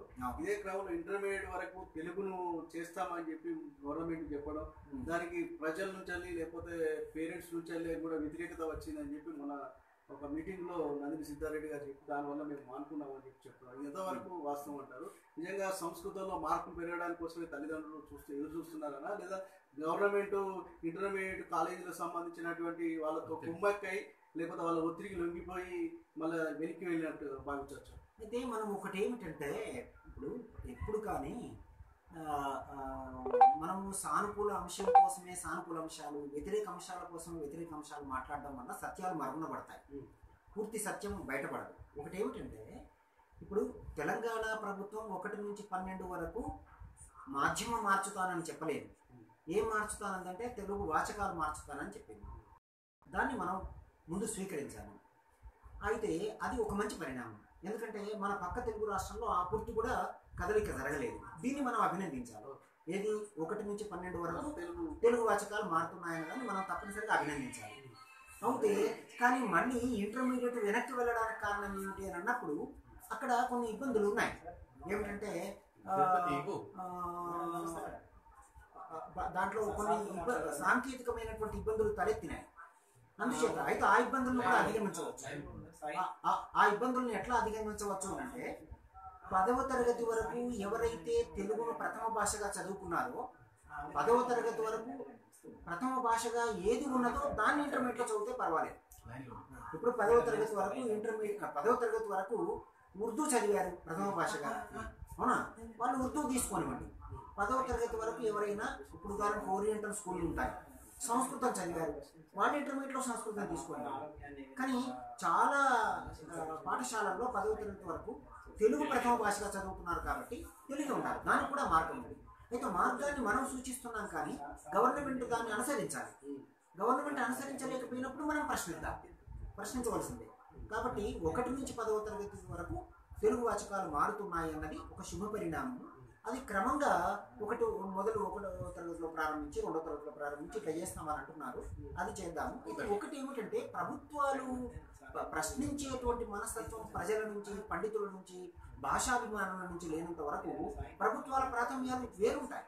ఇప్పుడు ప్రభుత్వాల ప్రాథమ్యాలు ఈ ప్రభుత్వం కానీ ఇంకో ప్రభుత్వం కానీ ఆ ప్రభుత్వాల ప్రాథమ్యాలు ఏమిటి అంటే వాళ్ళకి ఎంతసేపు కూడా వాళ్ళ ప్రయోజనాలు వాళ్ళకు ఉంటాయి అయితే మన దగ్గర నుంచి అన్ని కోణాల నుంచి అన్ని పార్శ్వాల నుంచి ఒత్తిళ్ళు రావాల్సిన అవసరం ఉంది. వచ్చినప్పుడు తప్పనిసరిగా అది మనం అనుకున్న రీతిలో ఉండడానికి వీలుంటుంది. సార్ అయితే ఇందాక మిత్రులు చెప్పినట్టు తెలంగాణ పదకోశం వేశారు బాణం వ్యాసాలు అలాగే బహుభాషల్లో మీరు అనువాదాలు చేశారు. ముఖ్యంగా తెలంగాణ భాష యొక్క వైశిష్ట్యం గురించి మీరు కొన్ని ప్రతిపాదనలు వ్యాసాల్లో వ్యాసాల ద్వారా చెప్పారు. అట్లాంటి విశిష్ట లక్షణాలు సరే చదువుకున్నటువంటి వాళ్ళకు చేరినాయి ఇప్పుడు ఈ ఫేస్బుక్ ముఖంగా. ప్రధానమైన తెలంగాణకు తెలంగాణ భాషకు ఆభరణాలను తగినటువంటి కొన్ని లక్షణాలు. ఏమైనా చెప్పగలుగుతారు? అవును. అయితే తెలంగాణ భాష అంటే తెలుగు భాషనే. తెలుగు అంటే ఇప్పుడు మనకు రెండు తెలుగు రాష్ట్రాల్లో ఉన్నటువంటి యాసలు భాషలు అన్నీ కూడా తెలుగు భాషలకు సంబంధించినవి. ఒకటి ఏమిటంటే అది తెలంగాణకు మనం వరమందామా శాపమందామా? అదృష్టమందామా దురదృష్టమందామా చెప్పలేం కానీ మధ్యయుగాల నుంచి సంక్రమించినటువంటి రాజకీయ ఆర్థిక సామాజిక పరిస్థితులు సాంస్కృతిక పరిస్థితులు తెలంగాణలో ఇప్పటికీ ఉన్నాయి. ఇప్పటికీ ఉన్నాయి. ఆ ఉన్న కారణం చేత ఏమైంది కదా అంటే అంటే ఇప్పుడు ఉదాహరణకి మానవ శాస్త్రాల పరిశోధకులకు ఆఫ్రికా ఖండంలో ఎన్ని అపురూపమైనటువంటి సంస్కృతులు భాషలు దొరుకుతాయో అట్లాగే ఈ తెలంగాణ వెనకబడిన కారణం చేతో వెనక పడవేసిన కారణం చేతో మన దగ్గర భాషకు సంబంధించినటువంటి ప్రత్యేకతలు సంస్కృతికి సంబంధించినటువంటి ప్రత్యేకతలు తెలంగాణలో మిగిలి ఉన్నాయి. అవి చూడగలిగినటువంటి దమ్ము ధైర్యం ఉంటే బయటపడతాయి. ఎందు- ఎందుకు చెప్తున్నానంటే అసలు తెలుగు భాషకు సంబంధించిన లక్షణాలన్నీ తెలంగాణ భాషలో ఇప్పటికీ ఉన్నాయి. అయితే ఇతర భాషలు పోగు ఉదాహరణకి శిష్ట వ్యావహారిక భాష పోగొట్టుకున్నది ఎందుకని? అక్కడ విద్యా సౌకర్యాలు వచ్చాయి. తర్వాత ముద్రణా సౌకర్యం వచ్చింది పత్రికలు వచ్చాయి ఆధునిక నాగరికత ప్రవేశించింది ప్రపంచీకరణ మనకన్నా ఎక్కువగా అక్కడ ఇది చేసింది సంపద పేరుకుపోయింది. ఇది తత్కారణం చేత ఏమైపోయిందంటే అక్కడ మార్పు పెను మార్పులు వచ్చాయి. ఇక్కడ మార్పుకు సంబంధించినటువంటి కదలికలు తక్కువ ఉన్న కారణం చేత ఉన్నాయి. ఇప్పుడు ఉదాహరణకి తెలుగు భాషకు సంబంధించినటువంటి లక్షణం తెలంగాణ భాషలో ఎట్లా ఉంటుంది? అంటే ఆశ్చర్యపోయేటువంటి విషయం ఏమిటి అని అంటే ఒక చిన్న విషయం చెప్తాను. అదేమిటంటే ఆబోతు అన్న పదం ఉంది. ఈ ఆబోతు అన్న పదం నిజానికి తెలంగాణలో ఆంబోతు అని ఉంటుంది. ఆంబోతు అని ఉంటుంది. మనము ఇప్పటి వరకు తెలుగులో ఉన్నటువంటి నిఘంటువులు ఏవి తిరగవేసినా కానీ ఆంబోతు కనబడదు కానీ ఆబోతు కనబడుతుంది. ఆ బోతు కనబడుతూ ఎట్లా కనబడుతుంది అంటే ఆ తర్వాత అరసున అరసు. పెట్టి బోతు అని రాస్తారు అయితే భాషలో భాషా శాస్త్రజ్ఞులు చెప్పిన విషయం ఏమిటి అని అంటే అరసున్నా కన్నా ఇవాళ అరసున్నా లేదు ఒకప్పుడు అరసున్నా ఉన్నది ప్రాచీన కాలంలో ఇంకా అత్యంత ప్రాచీన కాలంలో నిండు సున్నా ఉన్నది ఆ నిండు సున్నా ఉన్న రూపాలు ఇప్పటికీ తెలంగాణలో ఉన్నాయి. అంటే నిఘంటుకర్తలకు ఇక్కడి భాష తెలియక తెలియని కారణం చేత వాళ్ళు అరసున్నా ఉన్న రూపాలు మాత్రమే చూశారు. అంటే పరమ ప్రాచీన గ్రాంధిక రూపాలు ఇప్పటికీ తెలంగాణలో చెక్కు చెదరకుండా ఉన్నాయి. ఇప్పుడు మనము నిఘంటువు తీస్తే మన దగ్గర నాగం బాము అని ఒక పదం ఉంది. అది నిఘంటువులో చూస్తే నాగు తర్వాత అరసున్న బాము అని ఉంటుంది. కాబట్టి ఈ మన దగ్గర తాంబేలు అన్న పదం ఉంది పల్లెల్లో. అయితే నిఘంటువు చూస్తే అక్కడ తా తాబేలు అని ఉంటుంది తా అరసున్న బేలు అని ఉంటుంది. అంటే నిండు సున్నతో కలిగినటువంటి రూపాలు తెలంగాణలో ఉన్నాయి. అంటే ఇది ప్రాచీనతకు చిహ్నం. చిహ్నం. ప్రాచీనతకు చిహ్నం ఒకటి తర్వాత తెలుగు భాష లక్షణం కూడా. ఆ తెలుగు భాష లక్షణాన్ని పూర్తిగా మోస్తున్నది ఏమిటి అంటే తెలంగాణ భాష. అసలు తెలంగాణము అన్న పదంలోనే అత్యంత ప్రాచీనమైనటువంటి రెండు సున్నా ఉన్నది. అందుకని ఇది నేను చెప్పిన మాటే కాకుండా ఆదిరాజు వీరభద్రరావు గారు అయితేనేమి దుపాటి వెంకటరమణాచార్యులు గారు అయితేనేమి వాళ్ళందరూ ఇవన్నీ నిరూపించి చెప్పినటువంటి అంశాలు. ఇదొకటి. అంటే నిండు సున్నా ఉన్న రూపాలు ఉన్నాయి. అది కాకుండా ఇంకోటి ఏమిటంటే ద్విత్వం ఉంటుంది. అంటే ఒక పదం ఉందనుకోండి. ఆ పదంలో ద్విత్వం వస్తుంది. ఇప్పుడు ఎట్లా వస్తుంది కదా అంటే వేళ పాల అన్నాను. ఆ. ద్విత్వం కూడా ఇష్టం ఉన్న చోట్ల రాదు. వేళ పాల అంటున్నాను. ఈ వేళ వేళ పాల లేకుండా వస్తాడు అని అంటే మన వాళ్ళు వేళ పాల అన్నారు. వీనికో యాళ్ళ లేదు పాల లేదు అంటే ఆ అలా అన్నదాన్ని. పలకడం ఇలా పలకడం సాధ్యం కాకపోవడం చేతనో మరి ఏదో కారణం చేత ఆ లకారాన్ని ఏం చేశారు కదా అంటే ద్విత్వ లకారంగా మార్చుకున్నారు. అట్లా. ఇప్పుడు మొన్న నేను ఇల్లు కడుతున్న సందర్భంలో ఒక మేస్త్రీలు మాట్లాడుతున్న కూలీలు ఏం మాట్లాడుతున్నారు కదా అంటే అరే ఆ సలాకంలో సొర్రగొట్టుర్రి సొర్రగొట్టుర్రి అని అంటున్నారు. అంటే ఏమిటి? చొర్రగొట్టడం అనేది మన పదం. ఆ రాకు రా రావడం సొర్రగొట్టడం ఉమ్. అట్లాగే ఆ రా అని ఉన్నది ఒకటి. ఆ రా అని అంటే శకటరేఫం ఉంటుంది. ఆ శకటరేఫము మన తెలంగాణలో ఆ రా అయింది. ఏ రా అని శకటరేఫం ఉంది. ఆ తెలంగాణలో ఎర్రా అయింది. కనుక శకటరేఫం ద్విత్వంగా మారటం. తర్వాత ఆడ ద్విత్వంగా మారటం అదే కాకుండా అప్పుడప్పుడు సాధురేఫం కూడా ద్విత్వంగా మారటం. ఇప్పుడు వాడు కోస్తా భాషలో బరబరా లాక్కపోయాడు అని అంటాడు మనం బర్ర బర్ర లాక్కపోయాడు లేకపోతే గొర్ర గొర్ర గుంజుకపోయాడు అంటాం ఇది తెలంగాణ భాష లక్షణం. అంటే అట్లా నిండు చిన్న ఉండటం ద్విత్వం రావటం. అంతేకాకుండా యతిమైత్రిని పాటించటం. ఎర్రటి ఎండల వేడు అని అంటారు మూట కట్టుకొని ముగ్గురు మూట కట్టుకొని వచ్చిండు అని అంటారు. తర్వాత బెక్కన వెంకటగిరుడు అంటారు. పట్టణ గుండవలి సచ్చిండు పట్టణ బలిగిండు అని అంటారు. తర్వాత జ్వరం జారిందా అంటారు. జ్వరం వదిలిందా? జ్వరం తగ్గిందా అనదు. జ్వరం జారిందా అని అంటారు. జబ్బలు జారేసిండు అంటారు. అంటే ఆ, ఆ, మొహం వచ్చాడు. నవనాడులు కృంగిపోయాయి అనరు. జబ్బలు జారేసిండు. జ్వరం జారింది. ఆ, కార్జాలు గుండెలు కూలిపోతాయి ఇట్లా యతిమైత్రి అనేది తెలుగు భాషకే లక్షణం పద్యాలలో ఉండే ఒక యతిమైత్రి. అసలు నిజానికి పద్యాలలో ఉండే యతిమైత్రికి మూలం ప్రజల ప్రజల. ప్రజల వాడుక భాషనే ప్రజల వాడుక భాషనే వాళ్ళు అట్లనే. ఆ, కనుకనే కనుక తిట్టన తెల్లారింది. అని ఈ ఈ- రకమైన ఎత్తుమైత్రి నిండు సున్న. ద్విత్వం. తర్వాత ఇంకోటి ఏంటంటే ఒక పదాన్ని దగ్గరేసి నూరుతారు అంటే ఎట్లా అంటే ఉనుక అన్నారు అనుకోండి ఆ. ఉనుక. వెనుక అన్నారు అనుకోండి వెనుక దనక వాన పడుతుంది. ఊనక మీద రూపం లెక్క ఎగురుతున్నాడు. వాడు వెనక పట్ల కూర్చున్నాడు కానీ ఆగుతూనే లేడు. ఇట్లా మనకి ఈ పదాలను దగ్గరగా నూరటం ఈ ఇవన్నీ కూడా చేయడం అక్షరాలు కుదించే లక్షణం అక్షరాలు కుదించే లక్షణం. ఇంకొకటి ఏంటంటే తెలంగాణకు ఉన్న ఒక గొప్ప లక్షణం ఏమిటంటే అర్థవంతమైనటువంటి భాష ఇది. ఎట్లా అర్థవంతమైన భాష అంటే నెత్తి కింద పెట్టుకునేది మెత్తగా ఉంటది కాబట్టి మెత్త. తాగేది చల్లగా ఉంటది కాబట్టి చల్ల. చేపలను పట్టడానికి ఎర్రగా ఉపయోగపడుతుంది కాబట్టి ఎర్రగా ఉంటది కాబట్టి ఎర్ర. ఇట్లా. అది వాగు ఒర్రుకుంటా పోతుంది కాబట్టి ఒర్రే. గుండ్రంగా ఉంటది కాబట్టి చిన్నగా ఉంటది కాబట్టి గుండి. తర్వాత గుండ్రంగా ఉంటది కాబట్టి ఆ, గుండం. ఇట్లా మీరు గిర్రున తిరుగుతుంది కాబట్టి గిర్క.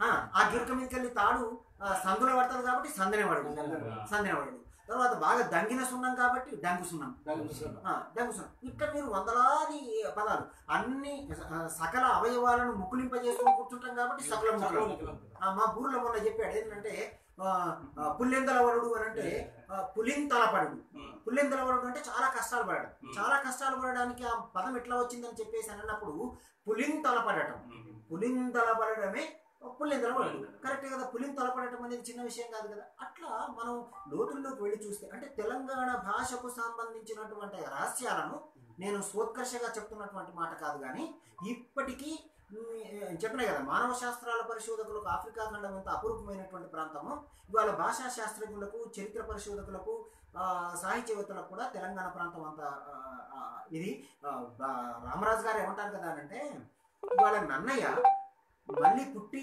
రాజమండ్రి వెళ్ళినా కానీ తిక్కన మళ్ళీ జన్మించి నెల్లూరుకు వెళ్ళినా కానీ అక్కడ పల్లెటూళ్ళలో మాట్లాడేటువంటి ప్రజల భాష వాళ్ళకి అర్థం కాదు.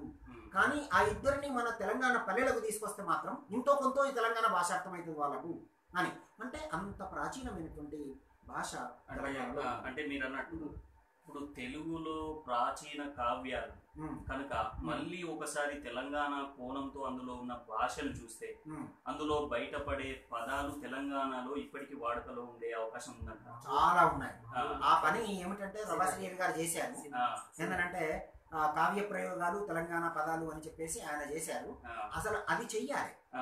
ఎందుకనంటే ఇప్పుడు తెలంగాణ భాష మీద ప్రేమతో అంటే మా తరం అంతరించిపోయింది అనుకోండి తర్వాత మీ తరంలో కొన్ని ఈ ఈ ప్రాచీన సాహిత్యానికి సంబంధించినటువంటి అధ్యయన ఆసక్తులు ఉన్నాయి కాబట్టి ఇప్పుడు మీరు అందుకోలేకపోయినట్లయితే మా తరంలో మేము చేయలేకపోయినట్లయితే ఇంకా అసలు ఆ తర్వాత ఈ తెలంగాణ భాషకు సంబంధించినటువంటి ఈ రహస్యాలు ఎవరికీ తెలియకుండా పోయేటువంటి ప్రమాదం కూడా కాబట్టి ప్రాచీన కావ్యాలను ప్రత్యేకమైనటువంటి అధ్యయనాసక్తితో మనం చదివినప్పుడు అసలు ఎన్ని పదాలు ఉన్నాయన్నటువంటి విషయం నన్ను నేను ఒకసారి మూరత్రోపు అనే ఒక పదం చూశాను. ఈ మూరత్రోపు నన్ను ఒకసారి అడిగారు. నేను సైన్స్ కాలేజీలో పనిచేస్తున్నప్పుడు. మూరదోపోడు అంటాం కదా సార్ ఆ మూరదోపోడు ఏం పదం ఉర్దూ పదమా తెలుగు పదమా అని అడిగారు. ఉమ్. నేను వెంటనే ఆశ్చర్యం ఆలోచనలోకి వెళ్ళాను. వెళ్ళిన తర్వాత మూరదోపు మూరదోపు అంటే దోపు అనేది ఎట్లా అవుతుంటే తోపు అయ్యే అవకాశం ఉంది. మోర్ తోపు అయింది. మోర్ తోపు అయినప్పుడు మోర్ లేదు. మోర ఉంది. మోర తోపు ఉంది.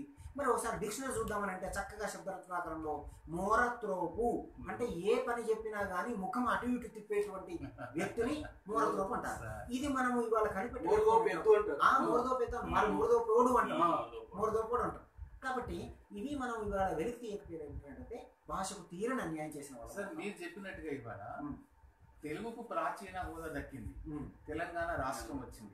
మనం తెలంగాణ సాహిత్య అకాడమీ ఏర్పాటు చేసుకున్నాం. అంటే మనము ఈ ఈ వైపుగా మనం కృషి చేయడానికి అనేకటువంటి ఇంతకుముందు లేనటువంటి సమైక్య రాష్ట్రంలో ఉన్నటువంటి ప్రతిబంధకాలు ఏమీ లేనటువంటి స్థితి ఇవాళ ఉంది. ఉన్న సందర్భం లోపల. మీరు అన్నట్టుగా ఈ ఈ ప్రాచీన కావ్యాలతో పాటు మౌఖిక సాహిత్యం కూడా తెలంగాణ లోపల అద్భుతమైన మౌఖిక సాహిత్యం ప్రజల్లో ఉంది. ఆ మౌఖిక సాహిత్యాన్ని ప్రాచీన సాహిత్యాన్ని ఇది ఒక బాధ్యతయుతంగా చాలా ఎక్కువ చేయడానికి ఆస్కారం ఉంది కాబట్టి ఈ చేయడంలో మీలాంటి వాళ్ళు రవాసి గారి గారు అయితే మీరైతే ఇంకా మీలాగా ఉన్న మిగతా వాళ్ళందరినీ భాగస్వామ్యం చేసి. చేయడంలో అంత వేగవంతంగా లేదు అనిపిస్తుంది సార్ నిజానికి. నిజం మాట. వేగవంతంగా లేదు అనేది వందకు వంద శాతం నిజం. సార్. అయితే ఒకటి ఏమిటంటేనేమో మనకు లక్ష పదాల నిఘంటువు తెలుగు విశ్వవిద్యాలయం తరఫున రావడానికి ప్రభాసిరెడ్డి గారును నన్ను ఘంటా చక్రపాణిని కట్టాశేఖర్ రెడ్డి గారిని అమరేశ్వర రాజేశ్వర శర్మ గారిని వేశారు. అయితే నేను మొన్న నాలుగు రోజుల కిందట హైదరాబాద్ వెళ్ళినప్పుడు ఎస్వి సత్యనారాయణ గారిని వీసీ గారిని అడిగితే పదాల సేకరణ జరుగుతున్నది. ఆ పదాల సేకరణలో కేవలం ఈ పండిత సాహిత్య శిష్ట సాహిత్యానికి సంబంధించినటువంటి తెలంగాణ పదాలు మాత్రమే కాకుండా తెలంగాణ భాష అంటే ప్రజల్లో బతుకుతుంది కాబట్టి మౌఖిక సాహిత్యానికి సంబంధించినవి కూడా తీసుకోవాలని చెప్పాము. కనుక ఒక అడుగు ముందుకు వచ్చింది. తర్వాత ఇంకోటి మీరు అన్నట్లు రావాల్సింది ఏమిటి అంటే కర్ణాటకలో చాలా కాలం నుంచి జానపద సాహిత్య అకాడమీ ఉన్నది. ఎస్ సార్ ఇవాళ అది. జానపద సాహిత్య అకాడమీ ఉన్నది. ఇక్కడ మన మన దగ్గర సాహిత్య అకాడమీ మన ప్రారంభమైంది. పోతే సాహిత్య అకాడమీతో పాటు జానపద సాహిత్య అకాడమీ తర్వాత సినీ రంగ సాహిత్య అకాడమీ నాటక నాటక సాహిత్య అకాడమీ లలిత కళా నాటక అకాడమీ అనువాద సాహిత్య అకాడమీ. ఇవన్నీ కూడా ఏర్పడవాలి ఇవన్నీ ఏర్పడాలి. ఏర్పడినప్పుడే భాష అది సుసంపన్నమవుతుంది. పోతే చెప్పాను కదా రాజకీయాలకు ఉన్న ప్రాధాన్యాలు వేరుగా ఉంటాయి. అయినా మనం ఆశావాహంగా ఉందాం. మరి డిమాండ్ చేద్దాము ముందు మనం మన మన తరఫు నుంచి ఒక అభ్యర్థన పోనివ్వండి. తర్వాత డిమాండ్ చేద్దాము. తెలంగాణ సమాజం అత్యంత చైతన్యవంతమైనటువంటి సమాజం కాబట్టి తప్పనిసరిగా అటువైపు కూడా అడుగులు పడతాయనేటువంటి ఆశావాదం అయితే నాలో ఉన్నది. సార్ దీనికి అనుబంధంగా ప్రశ్న ఆ, సార్ చెప్పండి. ఒక ప్రశ్న. ఇప్పుడు ఒక అన్న దేవేంద్ర అన్న గారికి కూడా స్వాగతం చర్చలో. ఈ ముఖాముఖి కూడా చాలా ఆశగా రావడం. ఎందుకంటే నాకు అనుకోకుండానే ఈ రోజు అదే, వాళ్ళ వల్ల. రావడం జరిగింది. ఇందులో సదాశ్రీ కృషిని నేను అభినందిస్తా ఉన్నాను. ఎందుకంటే చరిత్రలో నిలిచిపోయే అంశము ఇది. కాబట్టి మీరు అందరూ భాస్కర్ సార్ను ఎన్నో అడిగి ఉంటారు. నేను కూడా ఇంకా అసలు ఫేస్బుక్ చూడలేదు లైవ్లో. నేను ఆతృతగా ఇటే వస్తా ఉన్నా. బహుశా నేను అడిగే ప్రశ్నలు మీరు అడిగే. సార్ సారు పద్నాలుగు భాషల్లో రచనలు రచనలు చేసుకున్నటువంటి క్రమంలో అలాగే తెలంగాణ పదకోశాన్ని రాసినటువంటి ఆ భాష కానీ ఆ ప్రశ్న అడిగేటువంటి ఒక శక్తి సామర్థ్యం లేకుండానే అసలు నాకు తక్కువ ఉన్నది కనుకనే మీ అందరినీ తీసుకొని ఇంకా సార్ ద్వారా సంపూర్ణమైనటువంటి ఒక సాహిత్యాన్ని కానీ సంపూ ఇంకా రాబోయేటువంటి ఒక తెలంగాణలో భాషను ఎట్లా బతికించుకోవాలనే దాని క్రమంలో మీ అందరినీ తోడ్పాటు చేసుకుంటూ సార్ని అడగడానికి కోసం మీ హెల్ప్ కొన్నాను మీరు త్వరగానే మీరు అందరు వచ్చి మరి కార్యక్రమంలో పాల్పంచుకొని ప్రశ్నలు అడుగుతున్నందుకు ముందుగా మీకు ధన్యవాదాలు తెలియజేసుకుంటాను సార్ ఇప్పుడు సార్ని కవిత్వం మీద మీ ప్రశ్నలు అడిగాను అన్న పేరు ప్రశ్న పెట్టండి. నా పేరు అన్నవరం దేవేందర్. కవిత్వం మీద ప్రశ్న ఏమన్నారు భాస్కర్ సార్కు దేశ దేశాల కవిత్వం అనువాదం చేసిన గొప్ప అనుభవం ఉన్నది. భారతీయ భాషల లోపల అద్భుతమైన కథల కవితాన్ని కవిత్వాన్ని అనువాదం చేసిన అనుభవం ఉన్నది.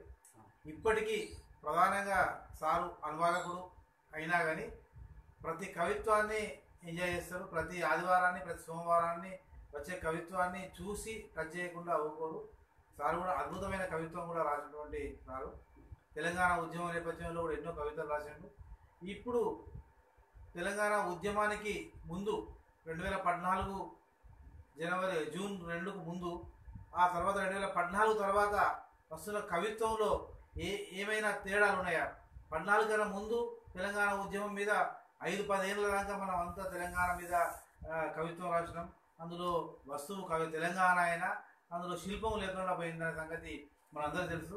వస్తు ప్రధానంగా కవిత్వం ఉద్వేగంగా ఒక ఉద్వేగపూరితమైనటువంటి రాయడం జరిగింది. మరి ఇప్పుడు ఆ తర్వాత తెలంగాణ వచ్చింది కుదుట పడ్డది. అభివృద్ధి దశలో కూడా పోతున్నది కొన్ని కార్యక్రమాలు చూస్తుంటే అభివృద్ధి దశలో ఉన్నాయి. ఆ తర్వాత తెలంగాణ కవులు ఏం రాయాలి? ఏం రాస్తున్నారు? ఎట్లా రాస్తే బాగుంటుంది? ఇప్పుడు వస్తున్న కవిత్వ రీతులు ఏమిటి ప్రపంచ కవిత్వ పోకడలు ఏమిటి దేశంలో జరుగుతున్న కవిత్వపు రీతులు ఏమిటి సాహిత్య అకాడమీలు కానీ అవన్నీ చేస్తున్న కృషి ఏమిటి? ఇప్పటి కవులు నిజానికి పుంఖాలు పుంఖాలుగా రాస్తూ ఉన్నాడు కవితలు పుంఖాలు పుంఖాలు కవిత సంకలనం వేస్తూ ఉన్నారు. ఆ వేయడం అనేది సమంజసమేనా? ఆ రాయడం సమంజసమేనా? అధ్యయనం ఉన్నదా? ఒక ఒక ఒక ఒక లోచూపుతో మీరు ఏమనుకుంటున్నారని తెలుసుకోవాలనుకుంటున్నాం సార్. రెండు వేల పద్నాలుగు కన్నా ముందు వచ్చినటువంటి అంటే తెలంగాణ తొలి దేశ మన దేశంలో వచ్చినటువంటి కవిత్వాలు ఆనాటి ఉద్యమానికి ప్రతిఫలనాలు. తప్పనిసరిగా రావాల్సిందే. తెలంగాణలో సాహిత్యము ఉద్యమము వేరువేరుగా లేవు. ఎందుకంటే మొదటి నుంచి కూడా తెలంగాణ అంటేనే ఆత్మవిశ్వాస ప్రకటనలు ఆత్మగౌరవ పోరాటాలు. కనుక ఇక్కడి సాహిత్యం ఇక్కడి పోరాటం ఈ రెండు కూడాను కేవలం పొరుగు రాష్ట్రాల వాళ్ళకు మాత్రమే కాదు ప్రపంచానికి స్ఫూర్తినిస్తున్నాయి ఇప్పటికి కూడాను. కనుక అది ఆ రోజుల్లో రెండు వేల పద్నాలుగు వరకు ఆయా ఉద్యమాలను ప్రతిబింబించేటువంటి సాహిత్యం కవిత్వం కావచ్చు ఏదైనా కావచ్చు ప్రక్రియ ఏదైనా కావచ్చు అట్లా రావటం అది ఆనాటి అవసరం అనివార్యత. పద్నాలుగు తర్వాత తప్పనిసరిగా అంటే ఈ నాలుగైదు సంవత్సరాల్లో కొంత స్తబ్దత నేను అంటే పర్సనల్గా అబ్జర్వ్ చేసినప్పుడు తెలంగాణ కవిత్వంలో కనిపిస్తున్నది. అంటే పుంఖానుపుంఖంగా కవిత్వాలు వస్తున్నప్పటికీ కూడా కవులు నిరంతర అధ్యయనం చేస్తే ఇంకొక రకంగా ఉంటుంది. ఇప్పుడు దేవేందర్ అన్నాడు ఇప్పుడు సాహిత్య అకాడమీ లేకపోతే ఇతర జాతీయ సాహిత్య సంస్థలకు సంబంధించినటువంటి సాహిత్యాన్ని మనం చదివినప్పుడు అంటే ఉదాహరణకి సాహిత్య అకాడమీ నుంచి సమకాలీన భారతీయ సాహిత్యాన్ని ఒక క్వార్టర్లీ మ్యాగజైన్ వస్తున్నది హిందీలో వస్తున్నది. అది ప- తక్కువ మంది చదువుతున్నారు ఇండియన్ లిటరేచర్ ఇండియన్ మళ్ళీ బైమంత్లీ మ్యాగజైన్ సాహిత్య అకాడమీ నుంచి ఇండియన్ లిటరేచర్ వస్తున్నది. కనుక అవి చదివినప్పుడు మనకి ఏమవుతుందంటే ఆయా దేశ భాషల్లో సాహిత్యం ఎట్లా వస్తున్నది తర్వాత శిల్పరమ్య శైలీ రమ్యత ఎట్లా ఉన్నది శిల్ప నైపుణ్యం ఎట్లా ఉన్నది మనం చెప్పదలుచుకున్న అభిప్రాయాన్ని వాళ్ళు ఎట్లా వ్యక్తీకరిస్తున్నారు. అంటే నిర్మోహమాటంగా చెప్పుకోవాలంటే వస్తు శిల్పాల్లో ఏది ముఖ్యమో అంటే వస్తువు ముఖ్యం. అందులో అనుమానం లేదు. అయితే కవిత్వం విషయానికి వచ్చినప్పుడు మాత్రం అది కొంత కళాత్మకంగా అభివ్యక్తి జరగవలసిన అవసరం ఉంది కాబట్టి అది గద్యం కన్నా భిన్నమైనది కాబట్టి లోకోత్తరంగా ఉండాలి కాబట్టి హృదయ భాష కాబట్టి అది కొంత రసాత్మకం కావాలి కాబట్టి అది అది రావాలంటే మాత్రం మనం ఇతర భాషల సాహిత్యాన్ని అధ్యయనం చేయవలసిన అవసరం ఉంది. అయితే ఒకటి నేను గమనిస్తున్నట్టు తెలుగు సాహిత్యంలో మొత్తంగా చూసినప్పుడు రెండు తెలుగు రాష్ట్రాల్లో చూసినప్పుడు తెలుగు సాహిత్యంలో కవిత్వం చాలా చక్కగా వస్తున్నది. అందులో అనుమానం లేదు. అంటే ఏ భాషకు తీసిపోని కవిత్వం వస్తున్నది? తెలంగాణ వరకు వచ్చేసరికి ఏమిటంటే ఈ నాలుగైదు సంవత్సరాల నుంచి చూస్తున్నప్పుడు కూడా కవిత్వం వస్తున్నది కానీ కొంత స్తబ్దత ఏర్పడింది. నేను అందరికీ చెప్పే విషయం ఏమిటి అంటే జనరల్గా చెప్పే విషయం ఏమిటంటే అధ్యయనం కొరవడింది అనేది స్పష్టంగా కనబడుతున్నది. అంటే కవిత్వం రాయటానికి అధ్యయనం అవసరమా? ఇది ఒక పెద్ద చర్చ. మీరు నేను అనుకోకుండా ఎప్పుడో ఒకసారి నెల రోజులకు ఒకసారి ఫేస్బుక్ ఓపెన్ చేస్తే అయితే ఏమిటి చదవకపోతే ఏమిటి రాయటం లేదా అని ఒకరు ఏదో కామెంట్ చూశాను. ఇట్లా ఇవన్నీ అంటే జనాన్ని ఆగం చేయడానికి ఎవరి వాదాలను వాళ్ళు సమర్థించుకోవడానికి సవాలక్ష కారణాలు చూపిస్తారు. కానీ నా స్వానుభవం ఏం చెప్తుంది కదా అంటే మనం పుస్తకాల ద్వారా నేర్చుకున్న జ్ఞానం కన్నా కూడా మన స్వీయ జీవితంలోంచి వచ్చిన అనుభవాలు గొప్పవి కాబట్టి మనం అధ్యయనం చేసినప్పుడు ఉన్నప్పుడు ఇప్పుడు కవిత్వం అనేది ఏమిటి? ఒక భావోద్వేగానికి సంబంధించినటువంటి అభివ్యక్తి. అయితే ఆ భావోద్వేగానికి సంబంధించిన అభివ్యక్తి అప్పటికప్పుడు స్పాంటేనియస్గా వస్తుంది. వచ్చిన తర్వాత కొంచెం నిమ్మడించి మనం ఇంకొకసారి వెనక్కి వెళ్ళి దీన్ని కొంచెం పదం అటుమార్చి ఇటుమార్చి చేస్తే బాగుంటుందా అన్నటువంటి రీథింకింగ్ లేకపోయినట్లయితే అది కళాత్మకంగా వచ్చే అవకాశం లేదు కాబట్టి అధ్యయనం కొరబడుతున్నది ముఖ్యంగా ఏమిటంటే కొత్త వాళ్ళు బాగా రాస్తున్నారు. ఇది చాలా ఆశ్చర్యం కలిగించే అంశం. అయితే అధ్యయనం లోపిస్తున్నది. ఆ అధ్యయనం కూడా వాళ్ళకు తోడైనట్లయితే అది నిజానికి పాలు పంచదార కలిసినట్లు ఒక చక్కని మాధుర్యంతో కూడినటువంటి సంపూర్ణమైన ఆహారం పిల్లలకు ఉన్నట్లుగా ఆ కొత్త వాళ్ళకి అది పనిచేస్తుంది కాబట్టి అధ్యయనం చేయవలసిన అవసరం ఉన్నది. తర్వాత ఇంకోటి ఏమిటంటే ఈ కొత్త వాళ్ళు నేను అంటే చెప్పక తప్పడం లేదు. ఎందుకనంటే ఈ అవార్డులు రివార్డులు ఈ షాలువాలు ఫేస్బుక్లు ఈ వాట్సాప్లు ఇట్లాంటి పోటీ పోటీ కవి సమ్మేళనాలు వీటిల్లో పడిపోతే క్వాలిటీ తగ్గుతుంది. అన్న దీనికి కూడా ఇంకా ఈ కవుల సమ్మేళనాలు కూడా రాజకీయాలు ప్రభావితం చేస్తున్నాయి. వాళ్ళు కూడా వాటిని పాడుకుంటున్నారు. అవును వాడుకుంటున్నారు కనుక అంటే మీరు ఆ పోటీ సమ్మేళనానికి వెళ్ళండి ఒకరోజు కవి సమ్మేళనానికి వెళ్ళండి ఏమైనా కానివ్వండి. ఏంటంటే అది సీరియస్గా తీసుకోవాల్సిన అవసరం ఉన్నది. దాన్ని మనం శ్వాసించడం ఇంత సహజమైనటువంటి ప్రక్రియ కవిత్వాన్ని లేదా సాహిత్యాన్ని కూడా జీవితంలో అట్లా మనం స్వీకరించినప్పుడు ఒక ఉత్తమ సాహిత్యాన్ని సృష్టించిన వాళ్ళం అవుతాము. మనం సమాజం నుంచి తీసుకున్నాం కాబట్టి సమాజానికి ఇచ్చినటువంటి వాళ్ళుగా కూడా తయారవుతాము. అందుకని అధ్యయనం బాగా చేయవలసిన అవసరం ఉన్నది. తర్వాత పక్క వాళ్ళ కవితలు కూడా చదవని ఒకనొక దురదృష్టకరమైనటువంటి పరిస్థితులు మనం చూస్తున్నాము. ఆదివారాలు సోమవారాలు అన్నీ చూడాలి అన్నీ చదవాలి. వ్యక్తిగత ప్రాపంచిక దృక్పథాలు ఏమైనప్పటికీ కూడాను అన్నీ చదవవలసిన అవసరం ఉన్నది. అన్నీ చదువుతున్న క్రమంలో మనకు తప్పనిసరిగా మన ఎక్స్ప్రెషన్ మారుతుంది. అది డిఫరెంట్గా వస్తుంది. ఒక విలక్షణత వస్తుంది దానికి.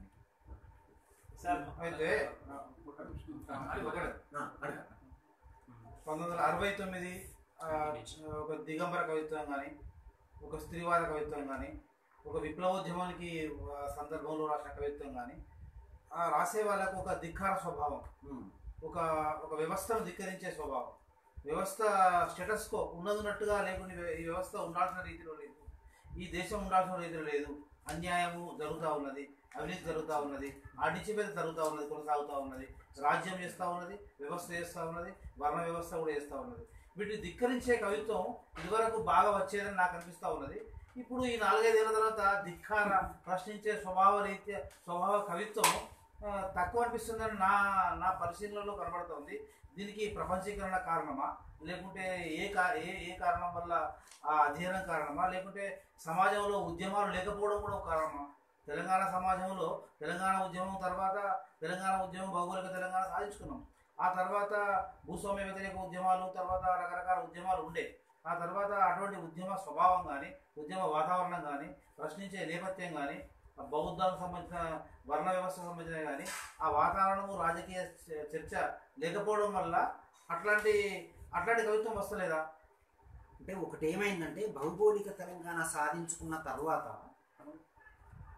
కొంతకాలం వేచి చూసే ధోరణి అనేది ఒకటి ఉన్నది. అంటే ఏమవుతుంది? మనం అనుకున్న ఆశలు ఆశయాలన్నీ కూడా ఫలిస్తాయా లేదా? కొంత సమయం ఇవ్వాల్సిన అవసరం ఉంది అనే దశలో కొంతమంది ఉన్నారు. మరికొంతమంది ఇన్నాళ్ళు ఒక అరవై ఏళ్ళ తర్వాత సాధించుకున్నటువంటి తెలంగాణ నిర్మాణంలో కవులు కళాకారులు మేధావులము విద్యావంతులమైన వాళ్ళను కూడా భాగస్వామ్యం తీసుకుంటేనే మనం అనుకున్న ఆశయాలు సిద్ధిస్తాయి అన్నటువంటి నమ్మకాలు భ్రమలో ఉన్న కారణం చేత కూడా ఇది జరుగుతున్నది. అయితే దేనికైనా మనకు సమయం నిర్ధారిస్తుంది. ఏమిటంటే భౌగోళిక తెలంగాణ అన్నటువంటి ప్రయాణం అది సామాజిక తెలంగాణగా మారుతుందా మారదా? మరి సామాజిక తెలంగాణ అన్నట్లుగానే సామాజిక వెస్ట్ బెంగాల్ అనేది ఒకటి ఉన్నదా? ఈ ఇట్లాంటివన్నీ ఉన్నాయి. వీటిని మనం బాగా లోతుగా అధ్యయనం చేయవలసినటువంటి అంశాలు అయితే ఒకటి ఏమిటంటే నేను అనుకోవడము ఈ స్తబ్దత రావడానికి కారణం ఏమిటంటే ప్రధానంగా ఈ సాహితీకారుల్లో శబ్దత రావడానికి ఒకటి కొన్నాళ్ళు వేచి చూద్దామనేటువంటి ధోరణి రెండవది ఇప్పుడు కనిపిస్తున్నటువంటి అభివృద్ధిని మొత్తంగా అభివృద్ధి అనుకునేటువంటి ఒకనొక భ్రమ భ్రమ.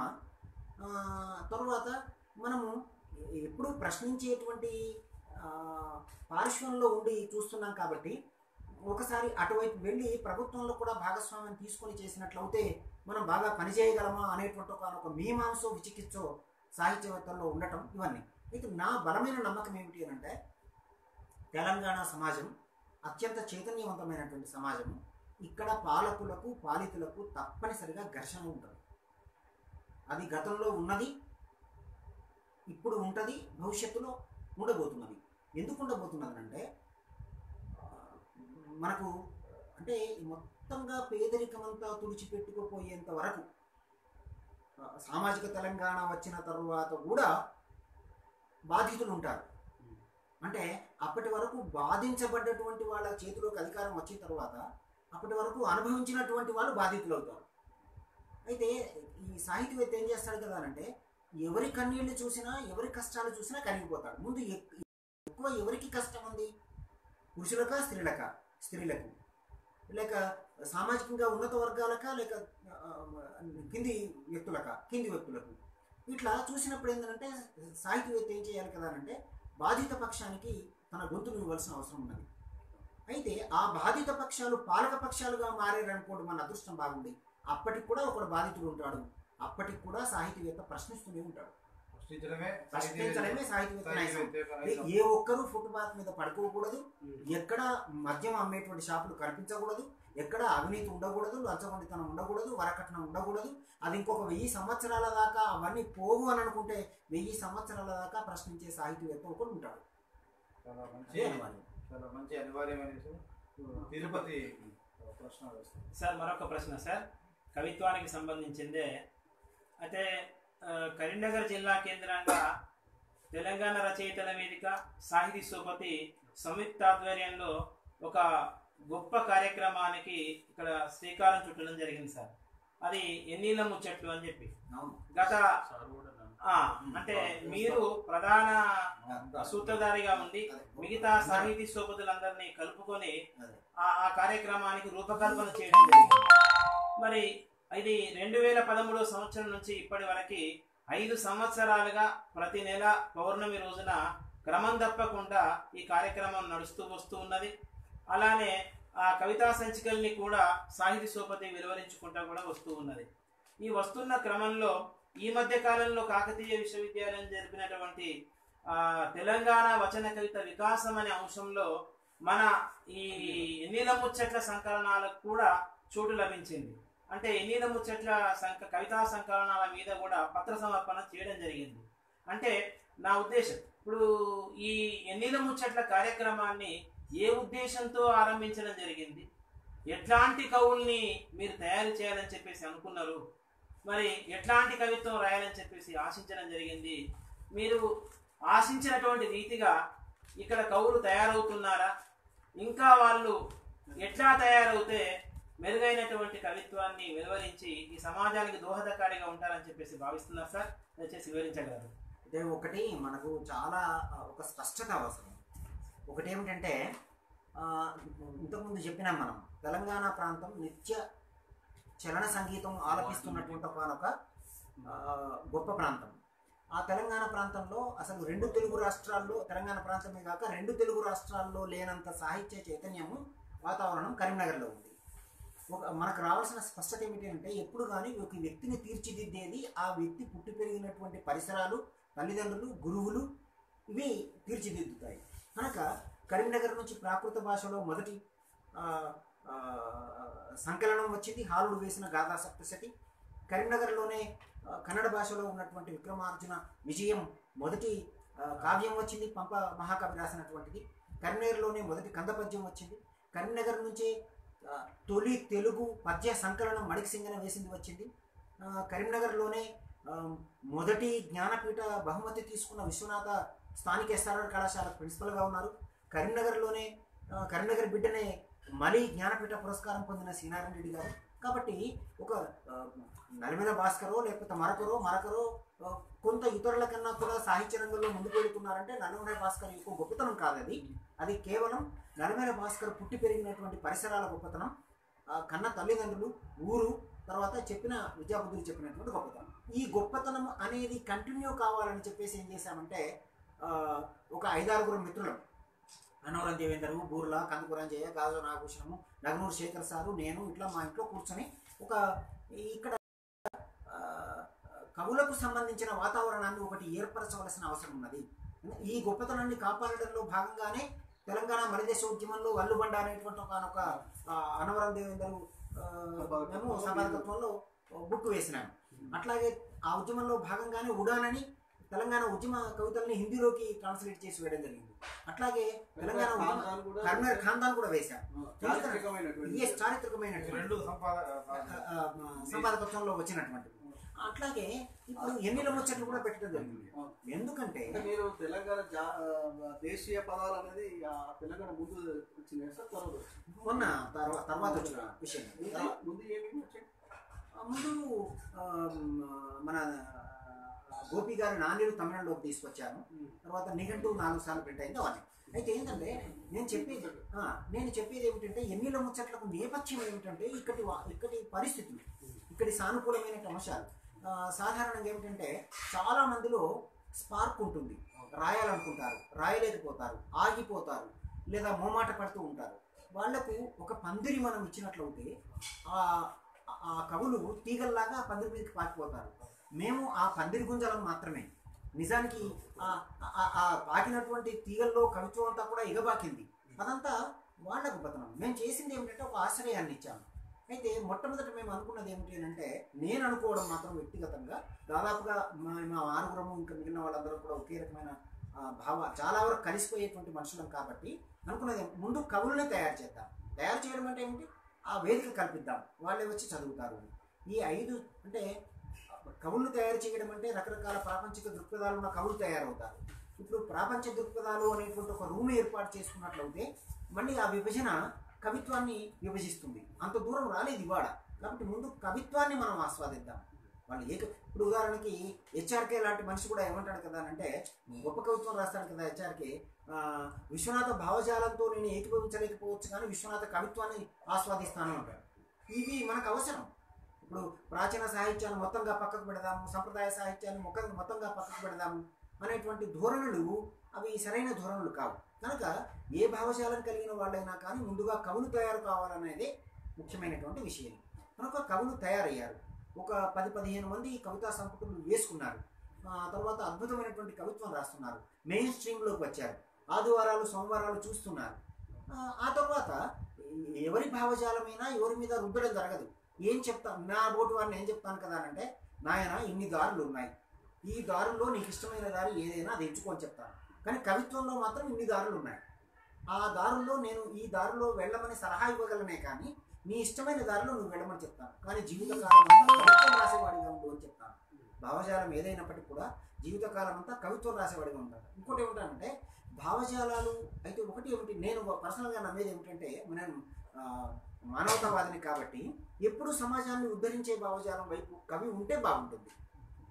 అది సమాజాన్ని ఉద్ధరించే భావజాలం వైపు కవి ఉంటే బాగుంటుంది. చాలా మంది చూస్తున్నారు సార్ వాళ్ళందరికీ సమాధానం చెప్పలేకపోతున్నా. ఓకే. నర్సన్ బద్రి గారు useful and detailed discussion going on అని. Thanks sir. నర్సన్ గారు చాలా సంతోషం. మీలాంటి వాళ్ళు చూస్తే చాలా మంది చూస్తున్నారు. ఉత్సాహం చాలా మంది చూశారు. మీ సంపాదకత్వంలో. ఇందాక చెప్పిండ్రు కదా. ఉడాను మీరు.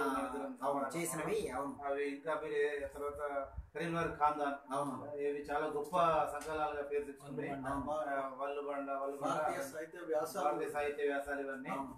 ఉడాన్ అనేది తెలంగాణ ఉద్యమానికి సంబంధించినటువంటి ఆ, ఏ, కవిత్వాన్ని హిందీలోకి అనువాదం చేసింది అవును. ఏ, మన ఎన్ఆర్ శ్యామ్ గారు. అవును. అది అది నిజానికి దే ఉత్తరప్రదేశ్లో మిగతా పత్రికల రాష్ట్రాల్లో పోయింది అవును. తెలుగు నేల మీద ఆ ఆ సంకలనానికి రావాల్సిన గుర్తింపు కానీ గౌరవం కానీ రాలేదని నేను కూడా ఒక మీ మీతో పాటు సహ సంపాదకునిగా అనుకుంటున్నాను. అంటే నిజానికి గొప్ప పని. కరీంనగర్ నుంచి జాతీయ స్థాయిలో మంచి ఏక్సే పడకరే కవితలను ఏరి మంచి ఏరి Try చేసినాం. ట్రై చేసినాం. కాంప్లీట్ చేసినాం. అదే. కార్యం దుర్గలని కానీ వాటికి దానికి బాగా తెలుగు సాహిత్యంలో తెలుగు దానిలో దానికి రాలేదంతా అయితే దానికి ఒక కారణం ఏమిటి అంటే ఇప్పుడు నేను అఖిల భారత తెలంగాణ రచయిత వేదిక అధ్యక్షుడిగా ఉన్నప్పుడు ఆ, ఈ ఉడాన్ అనేటువంటి దాన్ని ఆ, అన్నవరం దేవేంద్రం నేను ఇద్దరం సంపాదకులము ఎన్ఆర్ శ్యామ్ అనువాదకుడు దాన్ని తీసుకొచ్చాము అయితే హిందీ సాహిత్య సాహిత్య క్షేత్రంలో దానికి రావాల్సినంత పేరు వచ్చింది గుర్తింపు వచ్చింది మంచి సమీక్షలు కూడా వచ్చినాయి. దాంట్లో పర్సనల్గా నేను చేసిన పొరపాటు కూడా ఉంది. ఎందుకనంటే దాన్ని అన్ని ఇక్కడి పత్రికలకు కూడా కూడా పంపించి అంటే తెలుగులో ఇటువంటి ప్రయత్నం జరిగింది అనేది ఇక్కడి పత్రికలకు పంపించి సమీక్షలు వచ్చేలా చూస్తే అంటే అట్లాంటి పరిస్థితులు ఉన్నాయి మరి అనక తప్పడం లేదు. చూస్తే అది ఇక్కడి వాళ్ళకి పరిచయం అయ్యేదేమో లేకపోతే నేను చేసిన పొరపాటు కూడా ఏమిటంటే అంటే దాన్ని మనం అక్కడక్కడ తెలంగాణలో ఉన్నటువంటి జిల్లా కేంద్రాల్లో పరిచయ సభలు పెట్టి ఉన్నట్లయితే బాగుండేది. అయితే నాకు ఈ సెల్ఫ్ తెలంగాణ వాళ్ళకు ఉన్నటువంటిది ఏమిటి అని అంటే ప్రమోషన్ కల్చర్ తెలంగాణ వాళ్ళకి తక్కువ. అందులో నేను కొంచెం నా సెల్ఫ్ ప్రొజెక్షన్ కోసం తప్పుగా ప్రయత్నిస్తూ ఉంటాను. అయితే అది నా పొరపాటు అనుకుంటున్నాను మరి ఎందుకంటే అట్లా అని ఏమి పొరపాటు అని నేను భావించడం అదే లేదు అదే కానీ మొత్తానికి ఏదైనా రివ్యూ దాని గురించి రివ్యూ వచ్చిందని కాదు. ఎక్కడైనా సమయ ఏదైనా వ్యాసాలు రాసినప్పుడు కూడా దాని ప్రస్తావన కూడా లేకుండా. ఇంకో కారణం ఏంటంటే నాకు కూడా ఒక అనుభవం. మన ఇద్దరికి సంబంధించిన అనుభవం అయినా కానీ నేను ఇంగ్లీష్లో ఫార్మ్ ల్యాండ్ ఫ్రాగ్రెన్స్ అనే పుస్తకం తీసుకొచ్చిన మీకు తెలుసు అది ఇంగ్లీష్లో తెలంగాణ ఉద్యమానికి సంబంధించిందే. అది కూడా ఇండియన్ లిటరేచర్ లాంటి పత్రికల్లో అది అనువాదం దాని రివ్యూ వచ్చింది. రివ్యూ వచ్చింది. కానీ తెలుగు పత్రికలలో అన్ని పత్రికలకు చాలా సార్లు పంపిన. అవును. అప్పుడు హ్యాండ్స్ ఇండియా అనే పత్రికకి అయితే ఒక మూడు సార్లు పంపిన. అవును. వేస్తేనేమో అప్పటికి వేరే వేసేది. ఒక్క ఒక్క దానిలో కూడా మనకు రాలేదు. అంటే మనకు అట్లా ఆ పత్రికల అది అంటే తర్వాత నేను రివ్యూ చేసుకుని ఎంచుకునే ఏంటంటే ఇంగ్లీష్ కవిత్వాన్ని చదివి తెలుగులో రివ్యూ చేసే వాళ్ళ కొరత ఉన్నదని తెలిసింది మరి. నిజం అబద్ధం తెలియదు. హిందీ కూడా అట్లా ఉండొచ్చు బహుశా. నిజమే. ఇంకొకటి ఏమిటంటే మన దగ్గర మన దేశంలో ఉన్నటువంటి ఇతర భాషల్లో ఉన్న సాహితీవేత్తలను మనల్ని పోల్చుకున్నప్పుడు టోటల్గా చూసినప్పుడు ఏంటంటే నేను తెలుగులో కవిత్వ ప్రక్రియ చాలా చక్కగా ఉంది. ఇతర భాషలతో పోల్చినప్పుడు. సమస్య వచ్చిందనంటే ఇతర భాషల సాహిత్యాన్ని చదివే గుణం తక్కువ ఇక్కడ వాళ్ళ ఉమ్, ఉమ్. చదివే గుణం చాలా తక్కువ. చదవరు. ఇది దీనివల్ల ఏమైపోయింది కదా అంటే అంటే ఇప్పుడు దా- దాని ప్రాధాన్యం ఎవరికి తెలియాలి? ఆ పేజీ చూసే సంపాదకులు తెలియాలి. ఆ సంపాదకులు ఆసక్తి కొద్ది వచ్చేటువంటి వాళ్ళు అయితే చదివే అవకాశం ఉంది. ఉద్యోగం కోసం పుట్టబోసుకోవడం కోసం వచ్చే వాళ్ళైతే అవకాశం లేదు కనుక కొన్ని మనం చేదు నిజాలు వాటిని చెప్పుకోక తప్పదు. ఇట్లాంటి పరిస్థితులు ఉన్నాయి. ఆ, సార్ మీరు అఖిల భారత రచయితల వేదికకి మీరు అధ్యక్షుడిగా ఉన్నప్పుడు ఇక్కడ కరీంనగర్లో ఉద్యమం సమయంలో పీక్ స్టేజ్లో ఉన్న సమయంలో మీరు భారీ సభలు ఏర్పాటు చేయడం జరిగింది.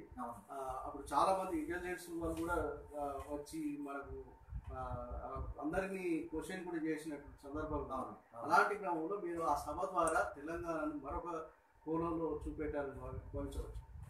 అయితే అఖిల భారత తెలంగాణ రచయితల వేదిక అధ్యక్షుడిగా ఉన్నప్పుడు ముఖ్యంగా ఇక్కడ మన నగ- మిత్రుడు నగనూరి శేఖర్ సారు తర్వాత దేవేంద్రు గాజోజు బూర్ల ఇట్లా మీరందరూ చేసి నాకు బాగా సహాయం చేసి చేశారు. అయితే ఏమిటంటే అప్పుడు ముఖ్య అతిథిగా మన సుదర్శన్ రెడ్డి గారిని జస్టిస్ సుదర్శన్ రెడ్డి గారిని పిలిచాం. ఆయన కీలకోపన్యాసం చేస్తూ ఒక మాట అన్నాడు. ఏంటంటే మళ్ళీ కురుక్షేత్ర సంగ్రామం జరగబోతున్నది.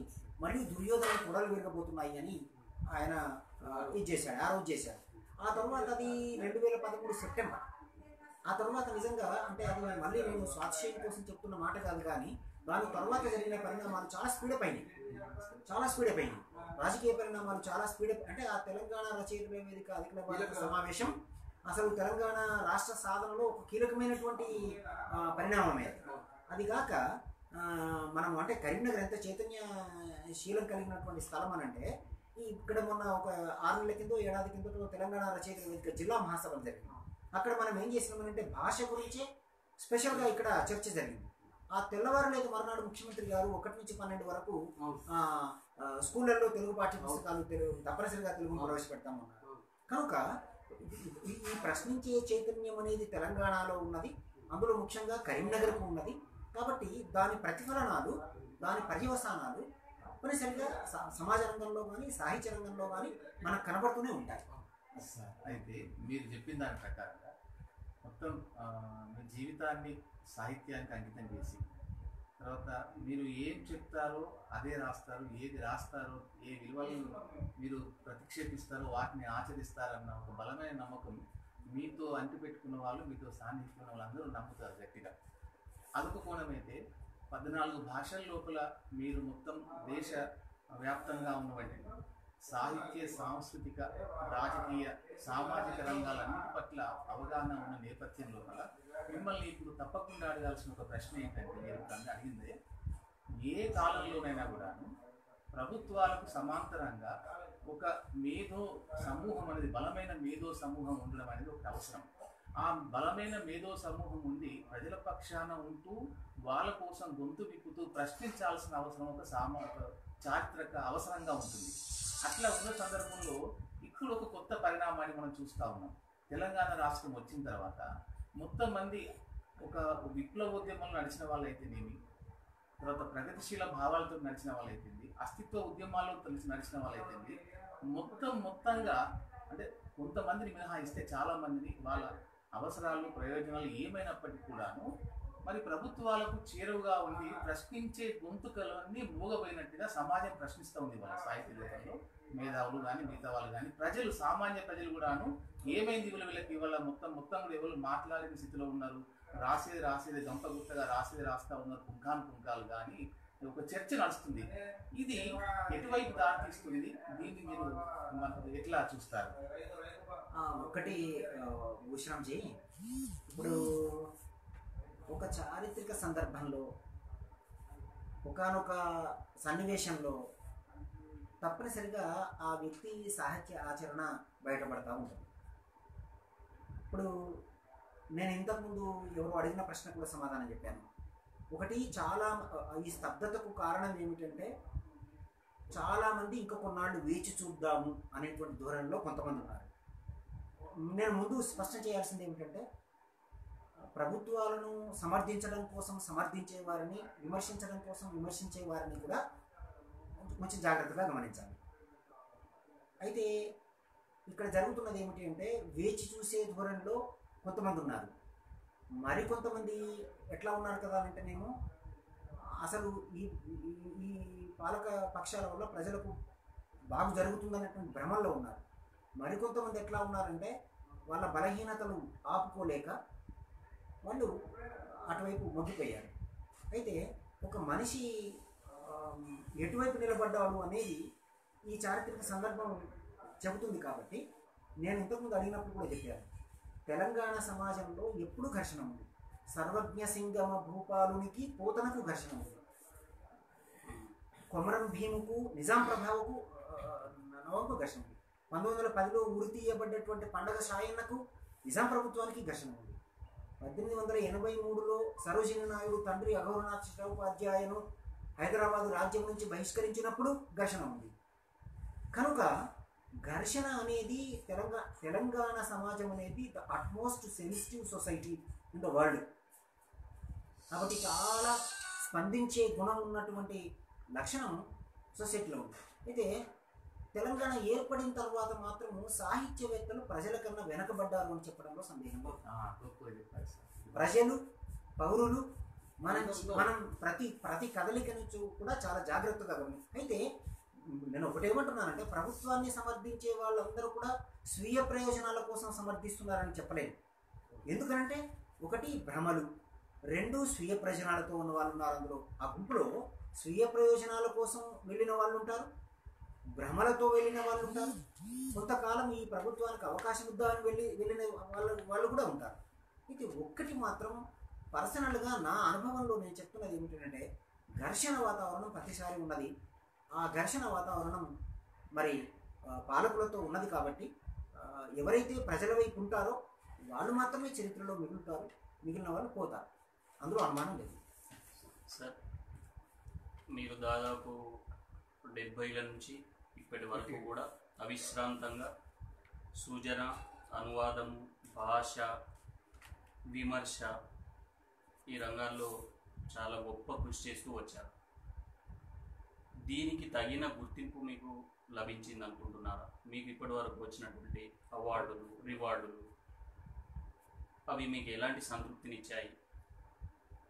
అట్లాగే పద్మశ్రీ లాంటి పురస్కారం మీకు ఇస్తే మీ స్పందన ఎట్లా ఉంటుంది?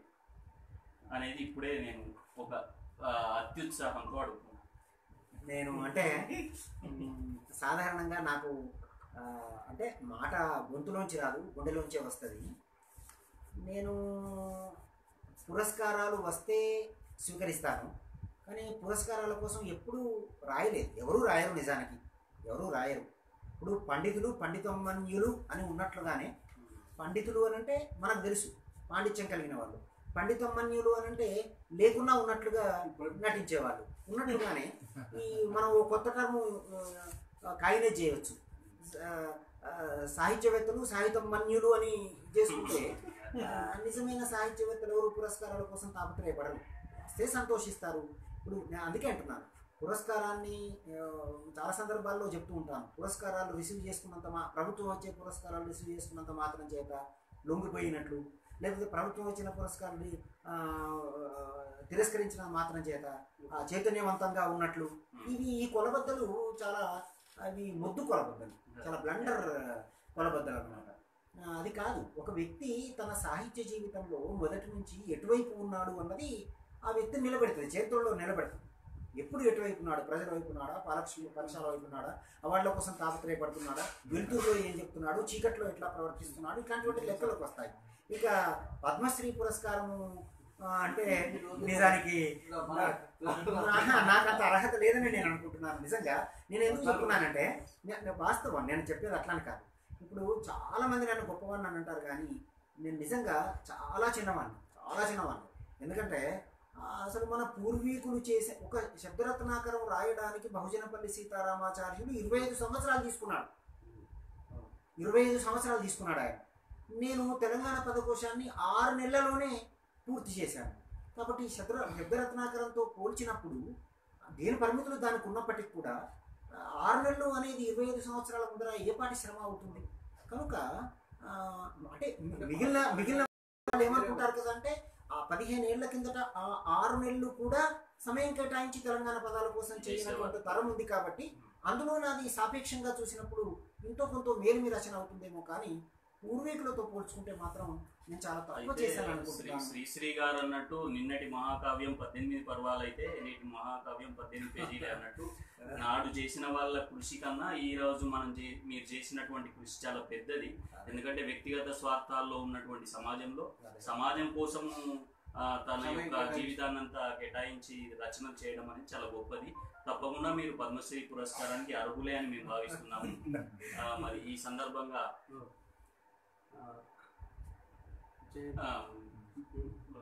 అంటే ఇన్ని సంవత్సరాల సాహిత్యంలో.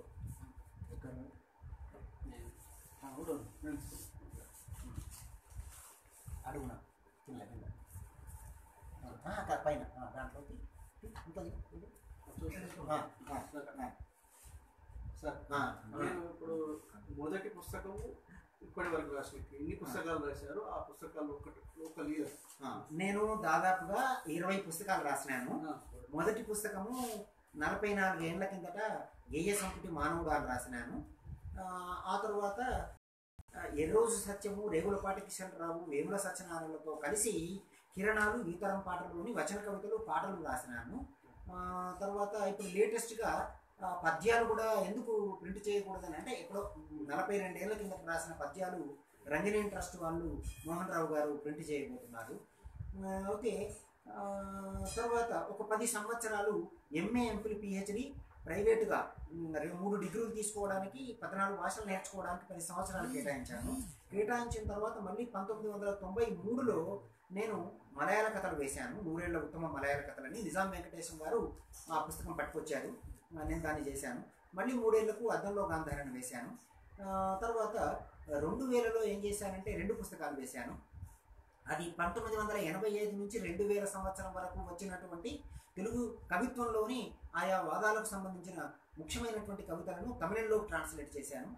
తర్వాత సాహితీ సుమాలను భారతీయ రచయితలను కూడా పరిచయం చేశాను. రెండు వేలలోనే వచ్చింది. రెండు వేల మూడులో తెలంగాణ పదకోశం వేశాను. రెండు వేల ఐదు ఆరులో బహుశా మట్టి ముత్యాలు మందాని పద్నాలుగు భాషల్లోంచి మందాని కవిత బుక్ వేశాను. తర్వాత రెండు వేల పదిలో జూలూరు గౌరీశంకర్ నా ఐదు పుస్తకాలు వేశాడు. భారతీయ సామెతలని భారతీయ వ్యాసాలు అని దేశ దేశాల కవిత్వం అని తెలంగాణ పదకోశం రీప్రింటు తర్వాత ఇంకొకటి ఏదో వచ్చింది అట్లా. బాణం. ఎస్ బాణం. అట్లా వచ్చింది.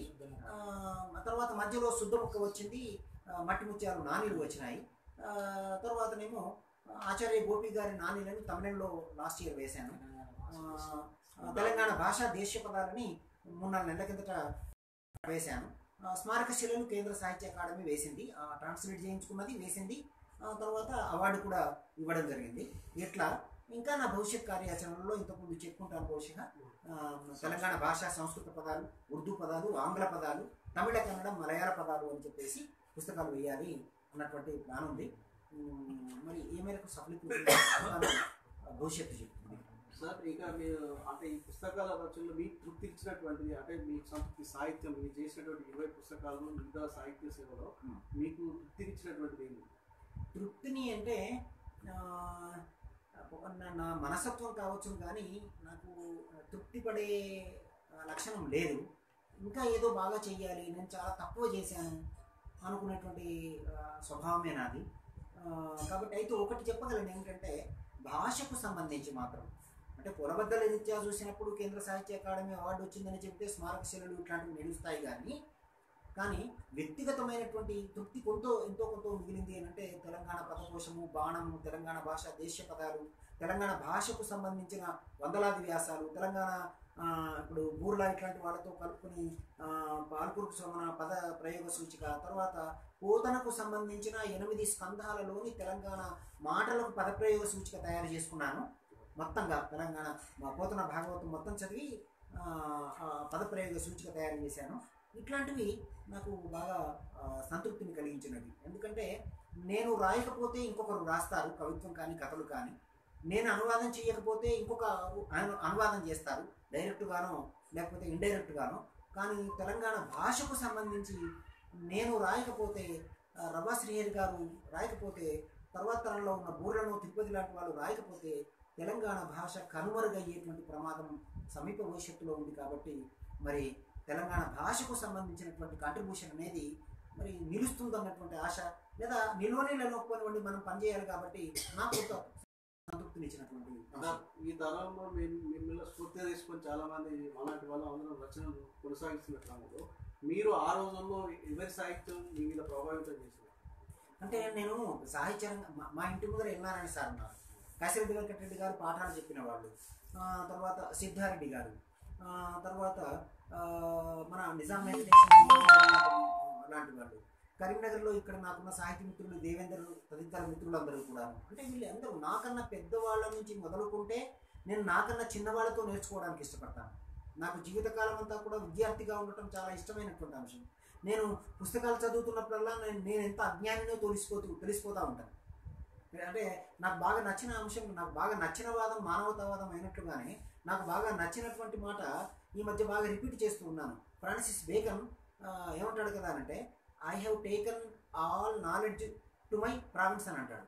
అంటే ప్రపంచంలో ఉన్న జ్ఞానం అంతా కూడా నా పరిధిలోకి తెచ్చుకున్నాను అంటాడు. అట్లా ప్రపంచంలో ఉన్న ఉన్న జ్ఞానం అంతా కూడా మన పరిధిలోకి తెచ్చుకోవడానికి ప్రయత్నం చేస్తున్నప్పుడు మనకు కొంచెం సంతృప్తి ఉంటుంది. జ్ఞానానికి సంబంధించినటువంటి శత సహస్రాంశము మనలో ఉండే అవకాశం ఉంటుంది. అందుకని మరి ఆ ప్రయత్నంలో జీవితకాలం అంతా ఉండాలి. సార్ ఇప్పటివరకు మీకు వచ్చిన పురస్కారాలు కేంద్ర సాహిత్యంతో పాటు ఇంకేమి వచ్చాయి? అంటే నాకు తెలుగు విశ్వవిద్యాలయం వల్ల సాహిత్య పురస్కారం అద్దంలో గాంధారికి వచ్చింది. తర్వాత జా మన ప్రభుత్వం వచ్చేటువంటి పెద్ద అవార్డుల్లో జాతీయ స్థాయిలో కేంద్ర సాహిత్య పురస్కారం కాబట్టి అది స్మారక శైలిలకు వచ్చింది. మలయాళం నుంచి ట్రాన్స్లేట్ చేశాను. ఆ తర్వాత మళ్ళీ లక్ష రూపాయలు నగదు ఇచ్చినటువంటి పద్మశ్రీ మోయి భీమన్న గారి అనువాద పురస్కారం వచ్చింది. తర్వాత అంతకన్నా ఎక్కువగా నాకు ఆత్మీయుల నుంచి వచ్చినటువంటి పురస్కారాలు ఉన్నాయి. ఉదాహరణకి మా ఊరి వాళ్ళు మోతిదేవిరెడ్డి మొదలైన వాళ్ళందరూ కూడా కలిసి చేసినటువంటి ఆత్మీయ పురస్కారం మా ఊళ్ళో చేసినటువంటి పురస్కారం ఇట్లాంటి అనేక పురస్కారాలు. బిఎన్ శాస్త్రి గారు పుర బిఎన్ శాస్త్రి గారు ఫోన్ చేసి మరి నేను నీకు పురస్కారం ఇస్తున్నాను ఆయన అన్నాడు. ద్వానా శాస్త్రి లాంటి వాళ్ళు ఇచ్చింది. జయశక్తి రమణయ్య లాంటి వాళ్ళు ఇచ్చింది. రామారావు గారు లాంటి వాళ్ళు ఇచ్చింది. ఫోక్ ఆర్ట్స్ అకాడమీ కృపాదానం కూడా అవార్డు ఇచ్చాడు. ఇట్లా హైకు క్లబ్ తరఫున రాష్ట్ర స్థాయి పురస్కారం అనకాపల్లిలో. ఇట్లా అనేక అవార్డులు రావడం అనేది జరిగింది. సరే అవార్డులు మనకు తప్పనిసరిగా ప్రోత్సాహాన్ని ఇస్తాయి.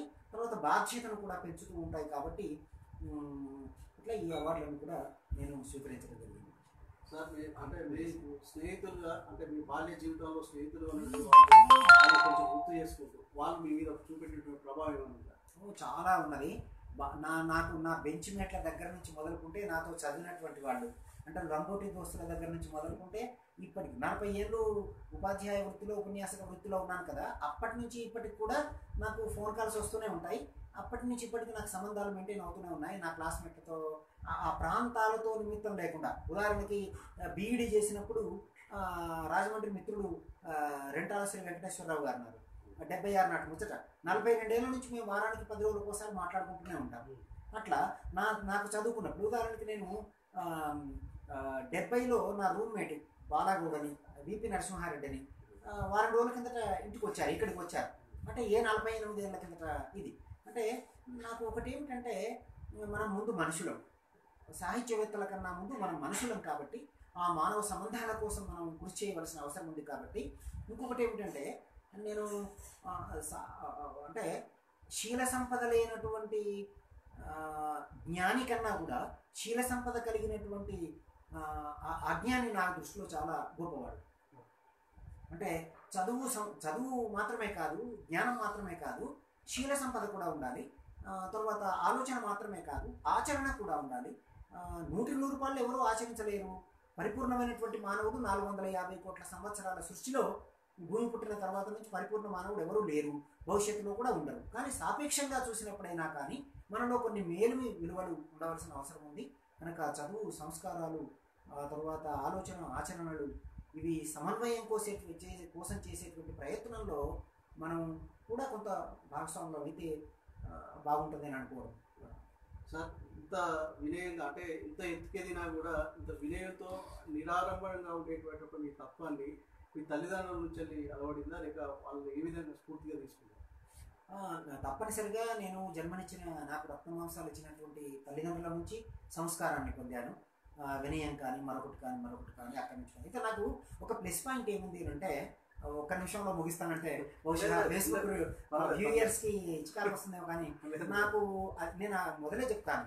ఈ ప్రాంతంలో పుట్టడం అదృష్టం.